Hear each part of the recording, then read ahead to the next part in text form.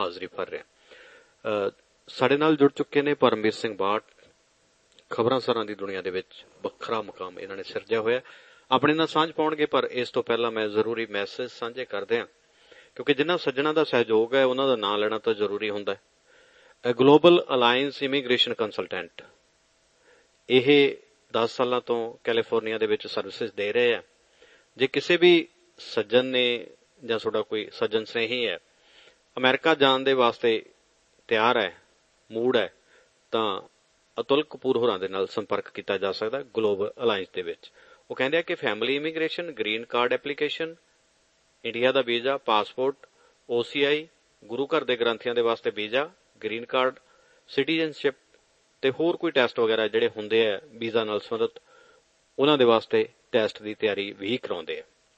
Truck ਵਾਲੇ ਵੀਰਾਂ ਦੇ ਵਾਸਤੇ ਖਾਸ ਛੂਟ ਹੈ ਤੇ ਇਸ ਕਰਕੇ 209 808 2136 ਇੱਕ ਤਾਂ ਇਹ ਨੰਬਰ ਹੈ 208 ਸੌਰੀ 209 808 2136 ਦੂਸਰਾ 209 9525578 ਨੰਬਰ ਤਾਂ ਇੰਡੀਆ ਦਾ ਵੀ ਹੈਗਾ ਜੀ, ਤੇ ਉਹ ਹੈਗਾ 98143 20010 ਤੇ ਦੂਸਰਾ ਮੈਸੇਜ ਹੈ ਜਿਹੜਾ ਤੁਹਾਨੂੰ ਦੇ ਦਈਏ ਬੇਨ ਸਿੰਘ ਵਸਾਲ ਹੋਰਾਂ ਦਾ। ਜੇ ਤੁਸੀਂ ਘਰ ਖਰੀਦਣਾ ਵੇਚਣਾ ਹੈ ਇਨਵੈਸਟਮੈਂਟ ਕਰਨੀ ਹੈ ਜਾਂ ਲੋਨ ਚਾਹੀਦਾ ਹੈ। ਟਰੱਕ ਰਿਲੇਟਡ ਕੋਈ ਪੇਪਰ ਵਰਕ ਕਰਾਉਣਾ ਹੈ ਅਕਾਊਂਟਿੰਗ ਸੰਬੰਧੀ ਕੋਈ ਗੱਲਬਾਤ ਹੈ ਰੀਅਲ ਏਸਟੇਟ ਦਾ ਤਾਂ ਕੁਝ ਵੀ ਹੋਵੇ, ਕਹਿੰਦੇ ਫਿਰ ਸਾਡੇ ਨਾਲ ਸੰਪਰਕ ਕਰ ਲਓ। 317 809 18 18 ਦੇ ਉੱਤੇ ਬੇਨ ਸਿੰਘ ਵਸਾਲ ਹੋਰਾਂ ਦਾ ਅੰਡਿਆਨਾ ਦਾ ਨੰਬਰ ਹੈ ਜੀ ਇਹ। ਤੇ ਹੁਣ ਕਰਦੇ ਹਾਂ ਬਾਟ ਦਾ ਸਵਾਗਤ, ਨਾਲ ਹੀ ਛੇੜਦੇ ਹਾਂ ਖਬਰਾਂ ਦੀ ਗੱਲ। ਜੀ ਬਾਟ ਸਤਿ ਸ਼੍ਰੀ ਅਕਾਲ। ਸ਼ੁਕਰੀਆ। ਮਿਹਰਬਾਨੀ ਸੁਖਨੈਬ ਜੀ। ਰੇਡੀਓ ਚੰਨ ਪ੍ਰਦੇਸ਼ੀ ਦੇ ਸਰੋਤਿਆਂ ਨੂੰ ਪਿਆਰ ਤੇ ਸਤਿਕਾਰ ਭਰੀ ਸਤਿ ਸ਼੍ਰੀ ਅਕਾਲ। ਪ੍ਰੋਗਰਾਮ ਨੂੰ ਸਪਾਂਸਰ ਕਰ ਰਹੇ ਨੇ ਸਰਦਾਰ ਅਮਰਿਤਪਾਲ ਸਿੰਘ ਨਿਹਾਲ ਕੈਲੀਫੋਰਨੀਆ ਯੂਐਸਏ ਜੀ, ਬਹੁਤ ਮਿਹਰਬਾਨੀ WhatsApp ਜੋੜਨ ਦੇ ਵਾਸਤੇ ਬਹੁਤ ਧੰਨਵਾਦ ਜੀ। ਤੇ ਆਪਾਂ ਵਧੀਆ ਖਬਰਾਂ ਸਾਰਿਆਂ ਦੇ ਵੱਲ। ਖਬਰਾਂ ਬਹੁਤ ਸਾਰੀਆਂ ਜੀ ਸਾਡੇ ਕੋਲੇ ਕਿਉਂਕਿ ਸਾਰਿਆਂ ਦੇ ਕੋਲੇ ਹੁੰਦੀਆਂ, ਪਰ ਸਾਡੀ ਕੋਸ਼ਿਸ਼ ਹੁੰਦੀ ਹੈ ਕਿ ਉਹ ਖਬਰਾਂ ਤੁਹਾਡੇ ਤੱਕ ਲੈ ਕੇ ਆਈਏ। ਜਿਹੜੀਆਂ ਤੁਹਾਨੂੰ ਵੀ ਚੰਗੀਆਂ ਲੱਗਣ, ਸਾਨੂੰ ਵੀ ਲੱਗੇ ਕਿ ਯਾਰ ਗੱਲ ਤਾਂ ਆਹ ਕਰਨੀ ਚਾਹੀਦੀ ਸੀ। ਜਿਹੜੀਆਂ ਪਹਿਲਾਂ ਕਰ ਗਏ, ਚੰਗੀਆਂ ਤਾਂ ਉਹ ਵੀ ਹੈ। ਤੇ ਇਹ ਵੀ ਚੰਗੀ ਸੋ ਇੱਕ ਚੰਗੀ ਗੱਲ ਦੇ ਨਾਲ ਹੀ ਅਸੀਂ ਸ਼ੁਰੂ ਕਰਦੇ ਹਾਂ। ਚੰਗੇ ਅੰਦਾਜ਼ ਦੀ ਤੁਹਾਨੂੰ ਸਾਰਿਆਂ ਨੂੰ ਪਤਾ ਹੀ ਹੈ। ਕਹਿੰਦੇ ਬੈਂਕ ਦੇ ਵਿੱਚ ਗੈਰ ਸਰਗਰਮ ਖਾਤੇ ਆ ਜਿਹੜੇ ਉਹਨਾਂ ਦੀ ਗਿਣਤੀ ਵਧ ਗਈ। ਦੋ ਮੇਰੇ ਆ ਇਹਨਾਂ ਚੋਂ। ਮੈਂ ਜੀ ਬੜੀ ਅਜੀਬੋ-ਗਰੀਬ ਦੀ ਸਥਿਤੀ ਇਸ ਵੇਲੇ ਬਣਦੀ ਕਿਉਂਕਿ ਪ੍ਰਧਾਨ ਮੰਤਰੀ ਨਰਿੰਦਰ ਮੋਦੀ ਸਾਹਿਬ ਨੇ ਵਿਦੇਸ਼ ਜਾਣਾ, ਚਾਈਨਾ ਜਾਣਾ, ਬਰਮਾ ਜਾਣਾ, ਹੋਰ ਵੀ ਕਈ ਪਾਸੇ ਦੇ ਪ੍ਰੋਗਰਾਮ ਉਹਨਾਂ ਨੇ ਲਿਖੇ ਹੋਣਗੇ, ਭਾਵੇਂ ਮਨ ਦੇ ਵਿੱਚ ਹੀ ਲਿਖੇ ਹੋਣ। ਪਰ ਉਹਨਾਂ ਪ੍ਰੋਗਰਾਮਾਂ ਤੋਂ ਬਿਨਾ ਬਾਕੀ ਜਿਹੜੇ ਪ੍ਰੋਗਰਾਮ ਭਾਰਤ ਦੇ ਵਿੱਚੋਂ ਬਣਾਉਂਦੇ ਆ ਉਹਨਾਂ ਦੇ ਵਿੱਚੋਂ ਸਫਲਤਾ ਘੱਟੇ ਮਿਲਦੀ ਹੈ ਜੀ। ਹੁਣ ਹਾਲਾਤ ਇਹ ਨੇ ਕਿ ਮੋਦੀ ਸਾਹਿਬ ਨੇ ਪ੍ਰੋਗਰਾਮ ਇਹ ਬਣਾਇਆ ਸੀ ਕਿ ਅਸੀਂ ਭਾਰਤ ਨੂੰ ਸਾਫ਼ ਕਰਨਾ ਹੈ ਸਵੱਛ ਭਾਰਤ ਮੁਹਿੰਮ। ਪਰ ਭਾਰਤ ਦੇ ਪਿੰਡਾਂ ਦੇ ਵਿੱਚ ਸ਼ਹਿਰਾਂ ਦੇ ਵਿੱਚ ਕਸਬਿਆਂ 'ਚ ਸਫ਼ਾਈ ਕਿੰਨੀ ਕਾ ਆਪਾਂ ਸਾਰਿਆਂ ਨੂੰ ਪਤਾ ਫਿਰ ਉਹਨਾਂ ਨੇ ਪ੍ਰੋਗਰਾਮ ਬਣਾਇਆ ਸੀ ਕਿ ਆਪਾਂ ਨੋਟਬੰਦੀ ਲਾਗੂ ਕਰਨੀ ਹੈ ਕਾਲੇ ਧਨ ਦੀ ਸਮਾਪਤੀ ਕਰਨੀ ਹੈ ਜਿਹੜੇ ਦਹਿਸ਼ਤਗਰਦ ਨੇ ਉਹਨਾਂ ਨੂੰ ਜਿਹੜੇ 4 ਪੈਸੇ ਦੇਸ਼ ਦੇ ਅੰਦਰੋਂ ਫੰਡ ਮਿਲਦਾ ਹੈ ਅਸੀਂ ਉਹਨੂੰ ਖਤਮ ਕਰਨਾ ਹੈ। ਜੀ। ਪਰ ਕਿੰਨਾ ਕੁ ਕਾਲਾ ਧਨ ਮੁੱਕਿਆ ਕਿੰਨਾ ਕੁ ਜਿਹੜਾ ਦਹਿਸ਼ਤਗਰਦਾਂ ਨੂੰ ਫੰਡ ਘਟਿਆ ਇਹ ਵੀ ਤਕਰੀਬਨ ਤਕਰੀਬਨ ਅੰਕੜੇ ਤੇ ਤੱਥ ਆਪਣੇ ਸਾਹਮਣੇ ਆਉਂਦੇ ਰਹਿੰਦੇ ਆ। ਹੁਣ ਤੀਸਰਾ ਜਿਹੜਾ ਉਹਨਾਂ ਨੇ ਇੱਕ ਪ੍ਰੋਗਰਾਮ ਚਲਾਇਆ ਸੀ ਪ੍ਰਧਾਨ ਮੰਤਰੀ ਬਣਨ ਤੋਂ ਬਾਅਦ ਕਿ ਹਰ ਇੱਕ ਵਿਅਕਤੀ ਦਾ ਮੈਂ ਬੈਂਕ ਦਾ ਖਾਤਾ ਜ਼ਰੂਰ ਖਲਵਾਉਣਾ ਹੈ ਸਾਰੇ ਭਾਰਤ ਦੇ ਲੋਕਾਂ ਨੂੰ ਬੈਂਕਿੰਗ ਸਿਸਟਮ ਦੇ ਵਿੱਚ ਫਿੱਟ ਕਰਨਾ ਹੈ। ਜੀ। ਹੁਣ ਬੈਂਕਿੰਗ ਸਿਸਟਮ ਦੇ ਵਿੱਚ ਫਿੱਟ ਕਰਨਾ ਤੇ ਇਹਦਾ ਮਤਲਬ ਹੈ ਕਿ ਬੈਂਕ ਦੇ ਕਰਮਚਾਰੀਆਂ ਨੂੰ ਕੰਮ ਵਧਣਾ ਹੁਣ 8 ਨਵੰਬਰ ਤੋਂ ਲੈ ਕੇ 31 ਦਸੰਬਰ 2016 ਤੱਕ ਜਿਹੜੇ ਭਾਰਤ ਦੇ ਬੈਂਕਾਂ ਦੇ ਕਰਮਚਾਰੀਆਂ ਨੇ 6-6 7-7 ਘੰਟੇ ਰੋਜ਼ਾਨਾ ਵੱਧ ਕੰਮ ਕੀਤਾ ਕਿਉਂਕਿ ਨੋਟਬੰਦੀ ਤੋਂ ਬਾਅਦ ਇੱਕਦਮ ਕੰਮ ਦਾ ਹੜ ਆ ਗਿਆ ਜੀ। ਜਿਨ੍ਹਾਂ ਨੇ ਲੋਕਾਂ ਦੇ ਗੁੱਸੇ ਨੂੰ ਵੀ ਝੱਲਿਆ, ਕਈਆਂ ਦੇ ਕੁੱਟਮਾਰ ਵੀ ਹੋਈ, ਕਈਆਂ ਦੇ ਲੋਕਾਂ ਨੇ ਕੱਪੜੇ ਵੀ ਪਾੜ ਦਿੱਤੇ ਕਿ ਭਾਈ ਤੁਸੀਂ ਸਾਨੂੰ ਨਵੀਂ ਕਰੰਸੀ ਦਿੰਦੇ ਕਿਉਂ ਨਹੀਂ? ਤੁਸੀਂ ਰਸੂਖ ਕਰਨ ਦੇਈ ਜਾਂਦੇ ਹੋ। ਉਹਨਾਂ ਬੈਂਕ ਕਰਮਚਾਰੀਆਂ ਦੇ ਲਈ ਹੁਣ ਇੱਕ ਜੀਬੋ ਗਰੀਬ ਤਰ੍ਹਾਂ ਦੀ ਮੁਸੀਬਤ ਇਹ ਆ ਪਈ ਹੈ ਕਿ ਉਹਨਾਂ ਦੀਆਂ ਬੈਂਕਾਂ ਦੇ ਵਿੱਚ ਪਿਛਲੇ 2 ਸਾਲਾਂ 'ਚ ਖਾਤੇ ਤਾਂ ਧੜਾਧੜ ਖੁੱਲੇ ਨੇ, ਲੱਖਾਂ ਦੀ ਗਿਣਤੀ 'ਚ ਖੁੱਲੇ ਨੇ, ਪਰ ਉਹਨਾਂ ਦੇ ਵਿੱਚੋਂ ਬਹੁਤੇ ਖਾਤੇ ਗੈਰ ਸਰਗਰਮ ਨੇ। ਮੋਦੀ ਸਾਹਿਬ ਨੇ ਜਨਧਨ ਯੋਜਨਾ ਸ਼ੁਰੂ ਕਰਤੀ ਜ਼ੀਰੋ ਬੈਲੈਂਸ ਦੇ ਉੱਤੇ ਬੈਂਕ ਖਾਤੇ ਖੁੱਲਣ ਲੱਗ ਪਏ। ਆਰਥਿਕ ਤੌਰ ਤੇ ਕਮਜ਼ੋਰ ਲੋਕਾਂ ਦੇ ਵਾਅਦਾ ਇਹ ਕੀਤਾ ਗਿਆ ਕਿ ਜਿੰਨੀ ਵੀ ਸਰਕਾਰੀ ਸਹਾਇਤਾ ਤੁਹਾਨੂੰ ਦੇਵਾਂਗੇ ਸਾਰੀ ਬੈਂਕ ਖਾਤਿਆਂ ਦੇ ਰਾਹੀਂ ਦੇਵਾਂਗੇ ਵਾਅਦਾ ਇਹ ਵੀ ਕਰ ਦਿੱਤਾ ਗਿਆ ਸੀ ਕਿ ਤੁਸੀਂ ਕੰਮ ਚਾਹੇ ਸਰਕਾਰ ਦੇ ਕੋਲ ਕਰੋ, ਕੰਮ ਭਾਵੇਂ ਤੁਸੀਂ, ਜਿਹੜਾ ਉਹ ਕਿਸੇ ਨਿੱਜੀ ਕਾਰੋਬਾਰੀ ਦੇ ਕੋਲ ਕਰੋ, ਤੁਹਾਨੂੰ ਤਨਖਾਹ ਜਿਹੜੀ ਹੈ ਬੈਂਕਾਂ ਦੇ ਰਾਹੀਂ ਮਿਲੇ। ਚਲੋ, ਕੇਂਦਰ ਸਰਕਾਰ ਨੇ ਦਾਅਵਾ ਕਰ ਦਿੱਤਾ ਉਹਦੇ ਤੋਂ ਬਾਅਦ ਲੱਖਾਂ ਬੈਂਕ ਖਾਤੇ ਖੁੱਲ ਗਏ। ਕਈ ਬੈਂਕ ਵਾਲਿਆਂ ਨੇ ਤਾਂ ਪਿੰਡਾਂ ਦੇ ਵਿੱਚ ਜਾ ਕੇ ਵੀ ਜਿਹੜੇ ਉਹ ਫਾਰਮ ਭਰਵਾਉਣੇ ਸ਼ੁਰੂ ਕਰਤੇ ਕਿ ਭਾਈ ਸਵੇਰੇ ਆ ਕੇ ਕਾਪੀ ਬੈਂਕ 'ਚ ਲੈ ਜਾਓ। ਪਰ ਇਹ ਜਿਹੜੇ ਬੈਂਕ ਖਾਤੇ ਖੁੱਲੇ ਸੀ ਸੁਖਨੈਬ ਜੀ ਉਹਦੇ ਵਿੱਚੋਂ 90% ਬੈਂਕ ਖਾਤੇ ਗੈਰ ਸਰਗਰਮ। ਨੇ ਜੀ। ਬਹੁਤੇ ਜਿਹੜੇ ਖਾਤਾ ਧਾਰਕ ਸੀ ਉਹਨਾਂ ਨੇ ਖਾਤਾ ਖੁਲਵਾਉਣ ਤੋਂ ਬਾਅਦ ਇੱਕ ਵਾਰੀ ਵੀ ਬੈਂਕਾਂ ਦੇ ਵਿੱਚ ਪੈਰ ਨਹੀਂ ਪਾਇਆ।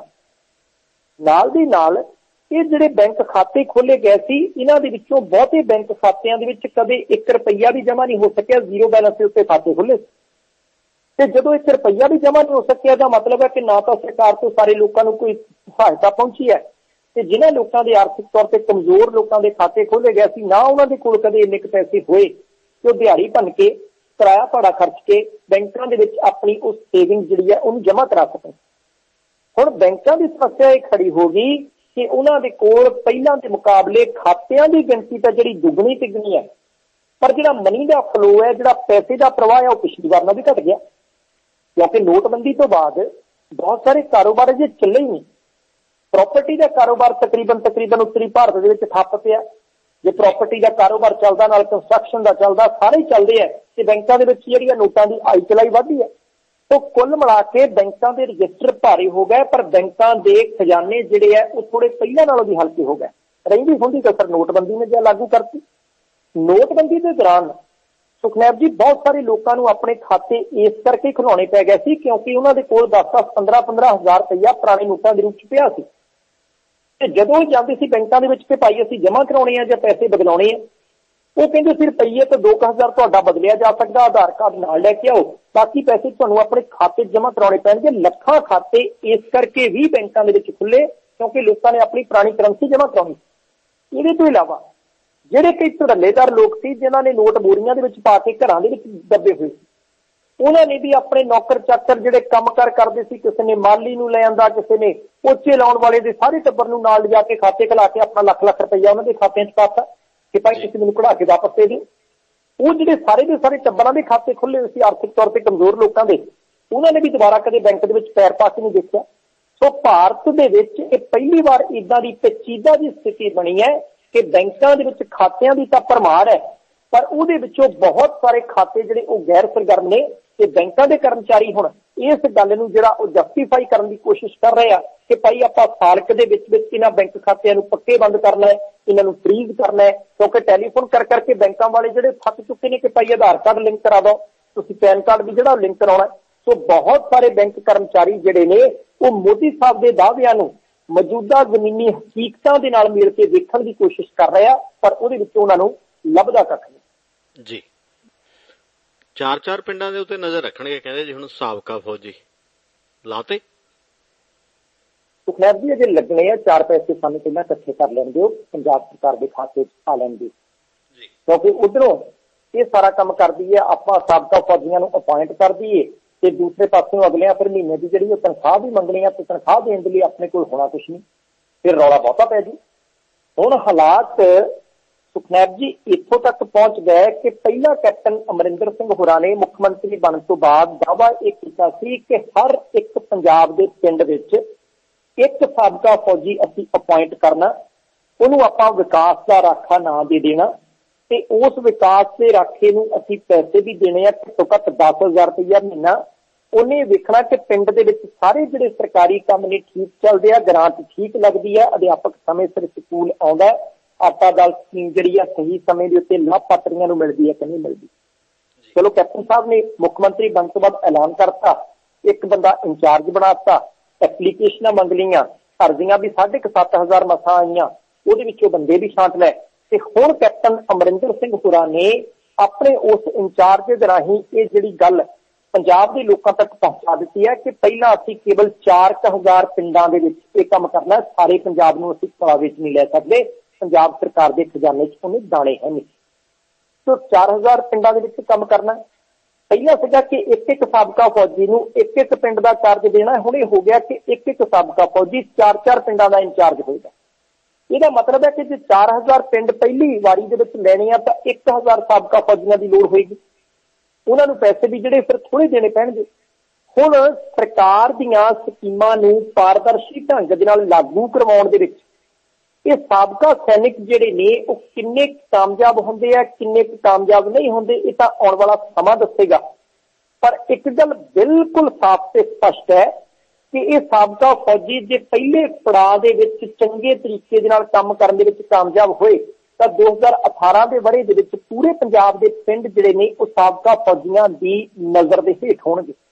ਜੀ। 18 ਯੋਜਨਾਵਾਂ ਨੇ ਪੰਜਾਬ ਸਰਕਾਰ ਦੀਆਂ ਸਕੀਮਾਂ ਨੇ, ਜਿਨ੍ਹਾਂ ਦੇ ਉੱਤੇ ਇਹਨਾਂ ਨੇ ਆਪਣੀ ਤਿਰਛੀ ਨਜ਼ਰ ਰੱਖਣੀ ਹੈ। ਇੱਕ ਤਾਂ ਜਿਹੜੀ ਆਟਾ ਦਾਲ ਸਕੀਮ ਹੈ ਕਿ ਕੀ ਕਣਕ ਦਾ ਮਿਆਰ ਠੀਕ ਲੋਕਾਂ ਨੂੰ ਦਿੱਤਾ ਜਾ ਰਿਹਾ ਕਣਕ ਕਿਤੇ ਉਹੀ ਤਾਂ ਨਹੀਂ ਕਿ ਪਾਣੀ ਪਾ ਪਾ ਕੇ ਜਿਵੇਂ ਐਡਵੋਕੇਟ ਫੂਲਕਾ ਸਾਹਿਬ ਨੇ ਫੜੇ ਸੀ ਬੰਦੇ ਕਿ ਪਾਣੀ ਪਾ ਪਾ ਕੇ ਗਿੱਲੀ ਕਣਕ ਜਿਹੜੀ ਆ ਭਾਰ ਪੂਰਾ ਕਰਕੇ ਦੇਈ ਜਾਂਦੇ ਆ।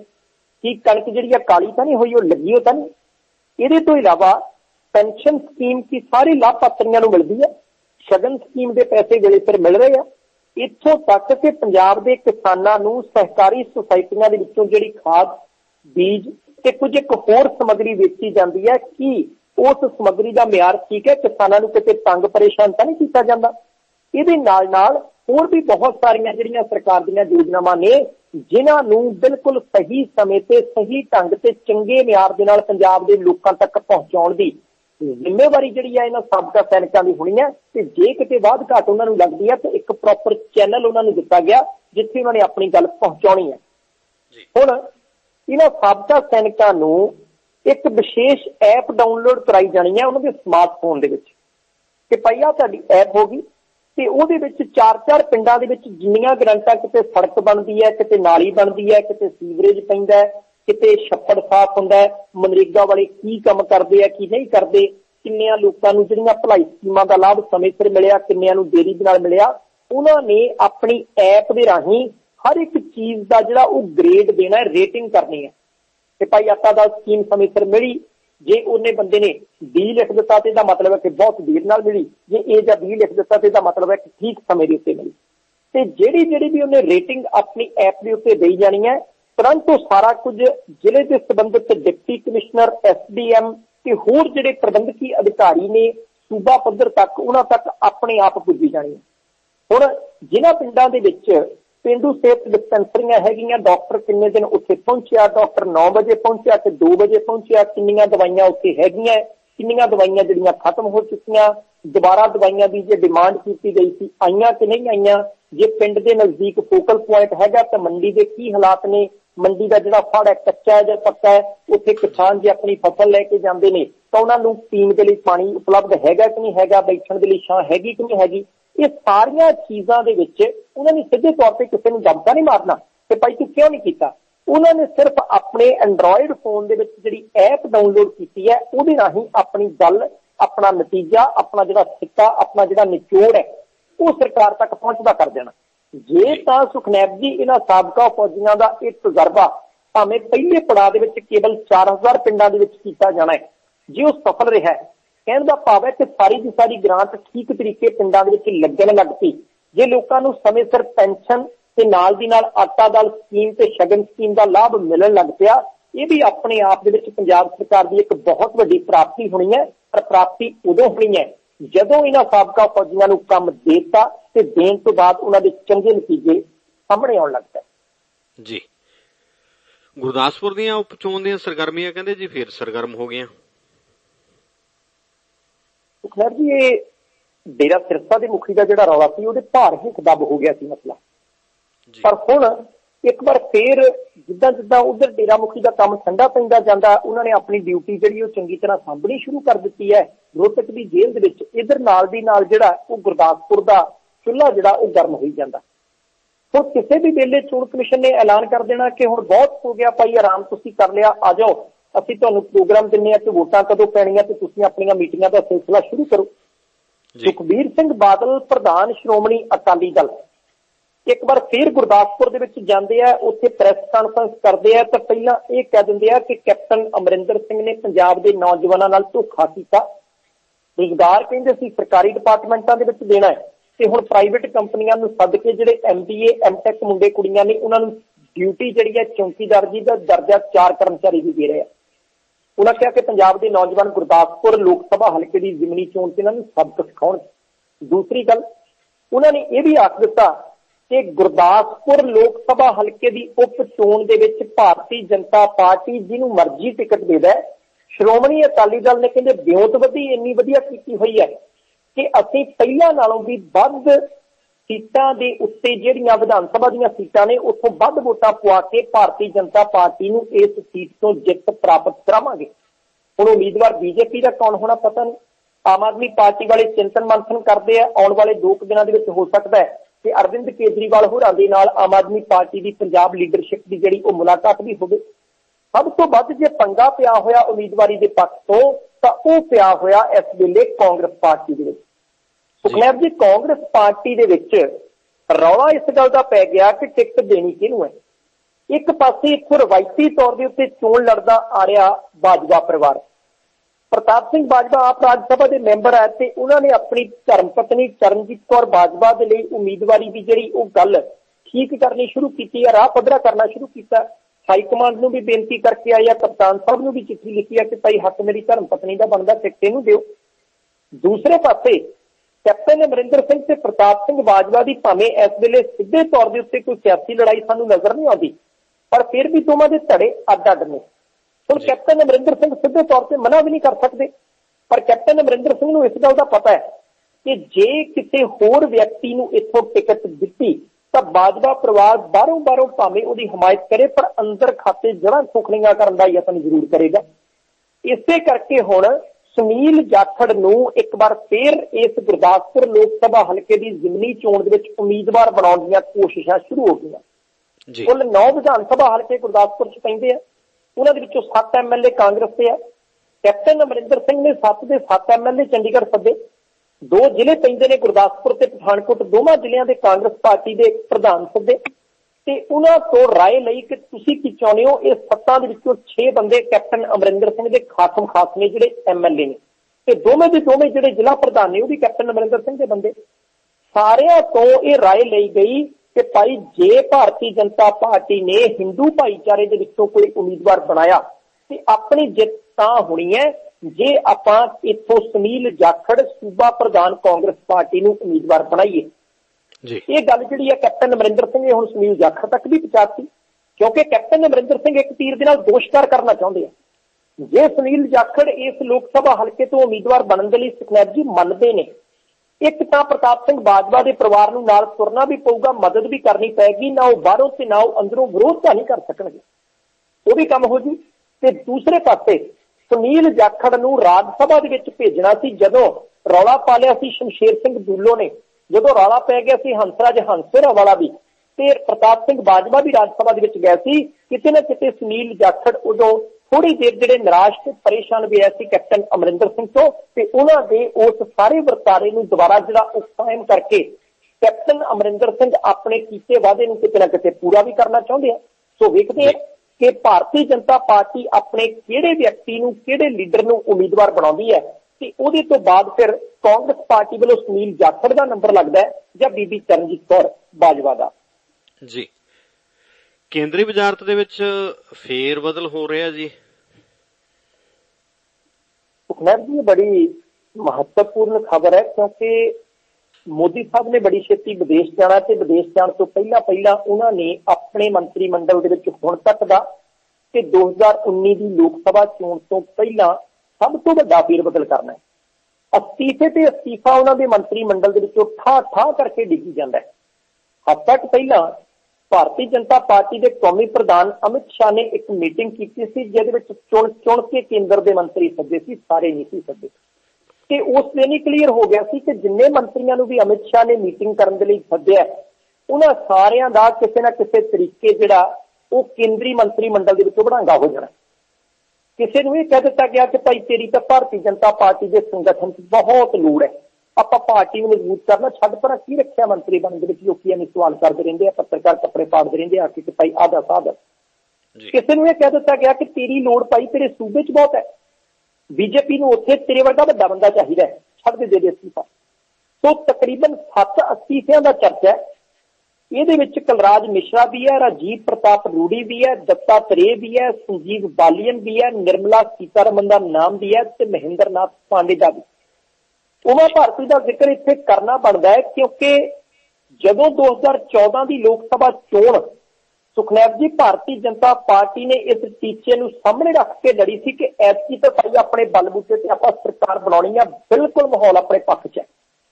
ਉਦੋਂ ਦੋ ਤਿੰਨ ਵੱਡੇ ਵੱਡੇ ਵਾਅਦੇ ਕੀਤੇ ਸੀ, ਇੱਕ ਤਾਂ ਕਾਲਾ ਧਨ ਵਿਦੇਸ਼ੋਂ ਵਾਪਸ ਲਿਆਉਣ ਦਾ, ਦੂਸਰਾ ਸਵਾਮੀਨਾਥਨ ਕਮਿਸ਼ਨ ਦੀਆਂ ਸਿਫਾਰਸ਼ਾਂ ਜਿਹੜੀਆਂ ਉਹਨਾਂ ਨੂੰ ਲਾਗੂ ਕਰਨ ਦਾ, ਤੇ ਤੀਸਰਾ ਵਾਅਦਾ ਕੀਤਾ ਗਿਆ ਸੀ ਧਾਰਮਿਕ ਤੌਰ ਦੇ ਉੱਤੇ ਲੋਕਾਂ ਨੂੰ ਨਾਲ ਜੋੜਨ ਦਾ ਕਿ ਭਾਈ ਅਸੀਂ ਗੰਗਾ ਸਾਫ਼ ਕਰਾਂਗੇ, ਗੰਗਾ ਨੂੰ ਸਵੱਛ ਕਰਾਂਗੇ। ਕਾਲਾ ਧਨ ਕਿੰਨਾ ਕਾਇਆ ਜਿਹਦੇ ਜਿਹਦੇ ਖਾਤੇ ਦੇ ਵਿੱਚ 15-15 ਲੱਖ ਰੁਪਈਆ ਆਇਆ, ਉਹ ਤਾਂ ਝੋਲੇ ਨੂੰ ਪਾਈ ਗੰਢ ਮਾਰ ਲਓ ਉਹਨਾਂ ਨੂੰ ਆ ਗਿਆ ਫਰ ਗਿਆ। ਜਿਨ੍ਹਾਂ ਜਿਨ੍ਹਾਂ ਦੇ ਖਾਤੇ ਦੇ ਵਿੱਚ ਨਹੀਂ ਆਇਆ, ਉਹ ਫਿਰ ਮੋਦੀ ਸਾਹਿਬ ਤੇ ਅਮਿਤ ਸ਼ਾਹ ਦੇ ਜੁਮਲੇ ਦੇ ਬਾਰੇ ਸੋਚੋ ਵਿਚਾਰੋ।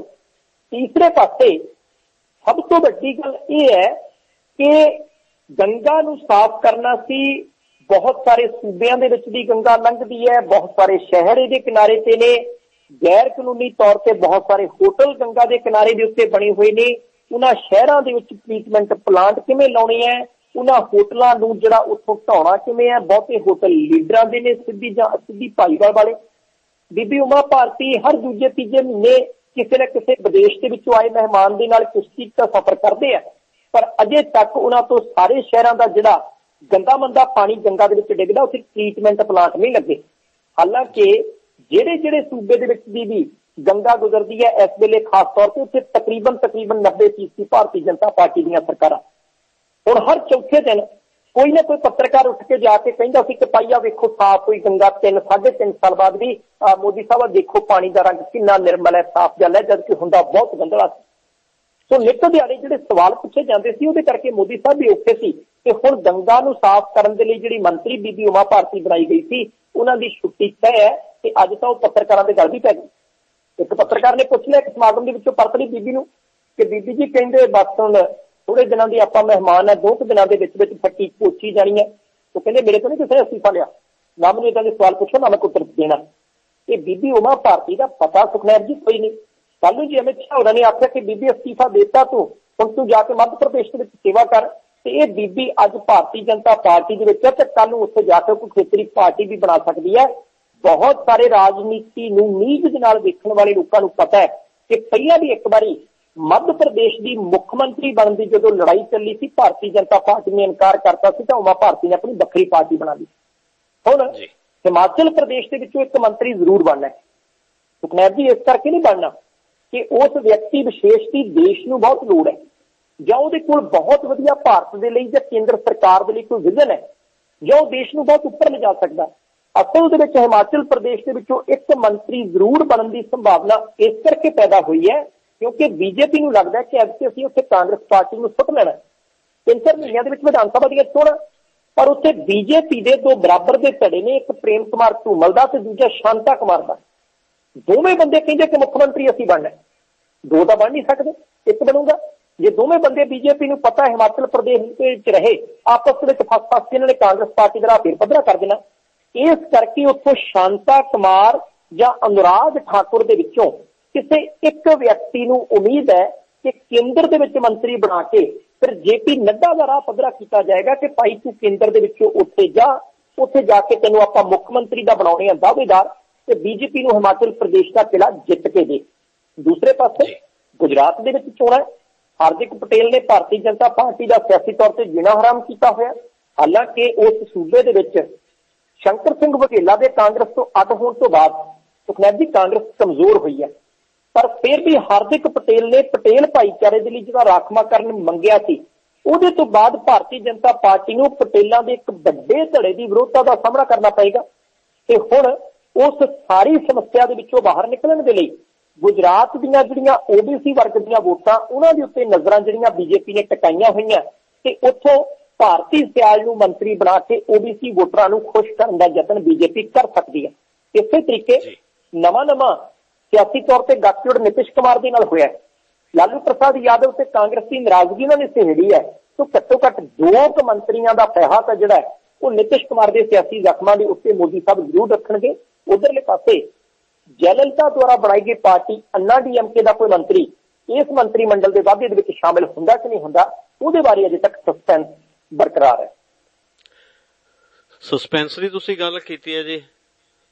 ਰਾਮ ਰਹੀਮ ਦੀਆਂ ਫਿਲਮਾਂ ਬਾਰੇ ਦੱਸ ਦਿਓ ਕੁਝ ਸੁਖਨਾ ਜੀ, ਰਾਮ ਰਹੀਮ ਦੀਆਂ ਜਦੋਂ ਫਿਲਮਾਂ ਆਉਂਦੀਆਂ ਸੀ, ਤਾਂ ਰੌਲਾ ਰੋਜ਼ ਹੀ ਪੈਂਦਾ ਸੀ ਕਿ ਭਾਈ ਬੱਲੇ ਬੱਲੇ ਹੋ ਗਈ ਹੈ ਰਾਮ ਰਹੀਮ ਦੀਆਂ ਫਿਲਮਾਂ ਜਿਹੜੀਆਂ, ਉਹ ਤਾਂ ਸੁਪਰ ਹਿੱਟ ਜਾ ਰਹੀਆਂ। ਟਰਾਲੀਆਂ ਭਰ ਭਰ ਕੇ ਪ੍ਰੇਮੀ ਆਉਂਦੇ ਸੀ, ਜਿਨ੍ਹਾਂ ਨੂੰ ਪੰਜਾਬ 'ਚ ਨਹੀਂ ਸੀ ਵੇਖਣ ਦਿੱਤੀਆਂ ਜਾਂਦੀਆਂ ਫਿਲਮਾਂ, ਉਹ ਚੰਡੀਗੜ੍ਹ ਜਾ ਕੇ ਵੇਖਦੇ ਰਾਮ ਰਹੀਮ ਕਹਿੰਦਾ ਸੀ ਕਿ ਮੇਰੀ ਕੋਈ ਵੀ ਫਿਲਮ 200 ਕਰੋੜ ਤੋਂ ਘੱਟ ਦਾ ਕਾਰੋਬਾਰ ਕਰਕੇ ਨਹੀਂ ਗਈ। ਬਹੁਤ ਸਾਰੇ ਕਾਰੋਬਾਰ ਕੀਤੇ।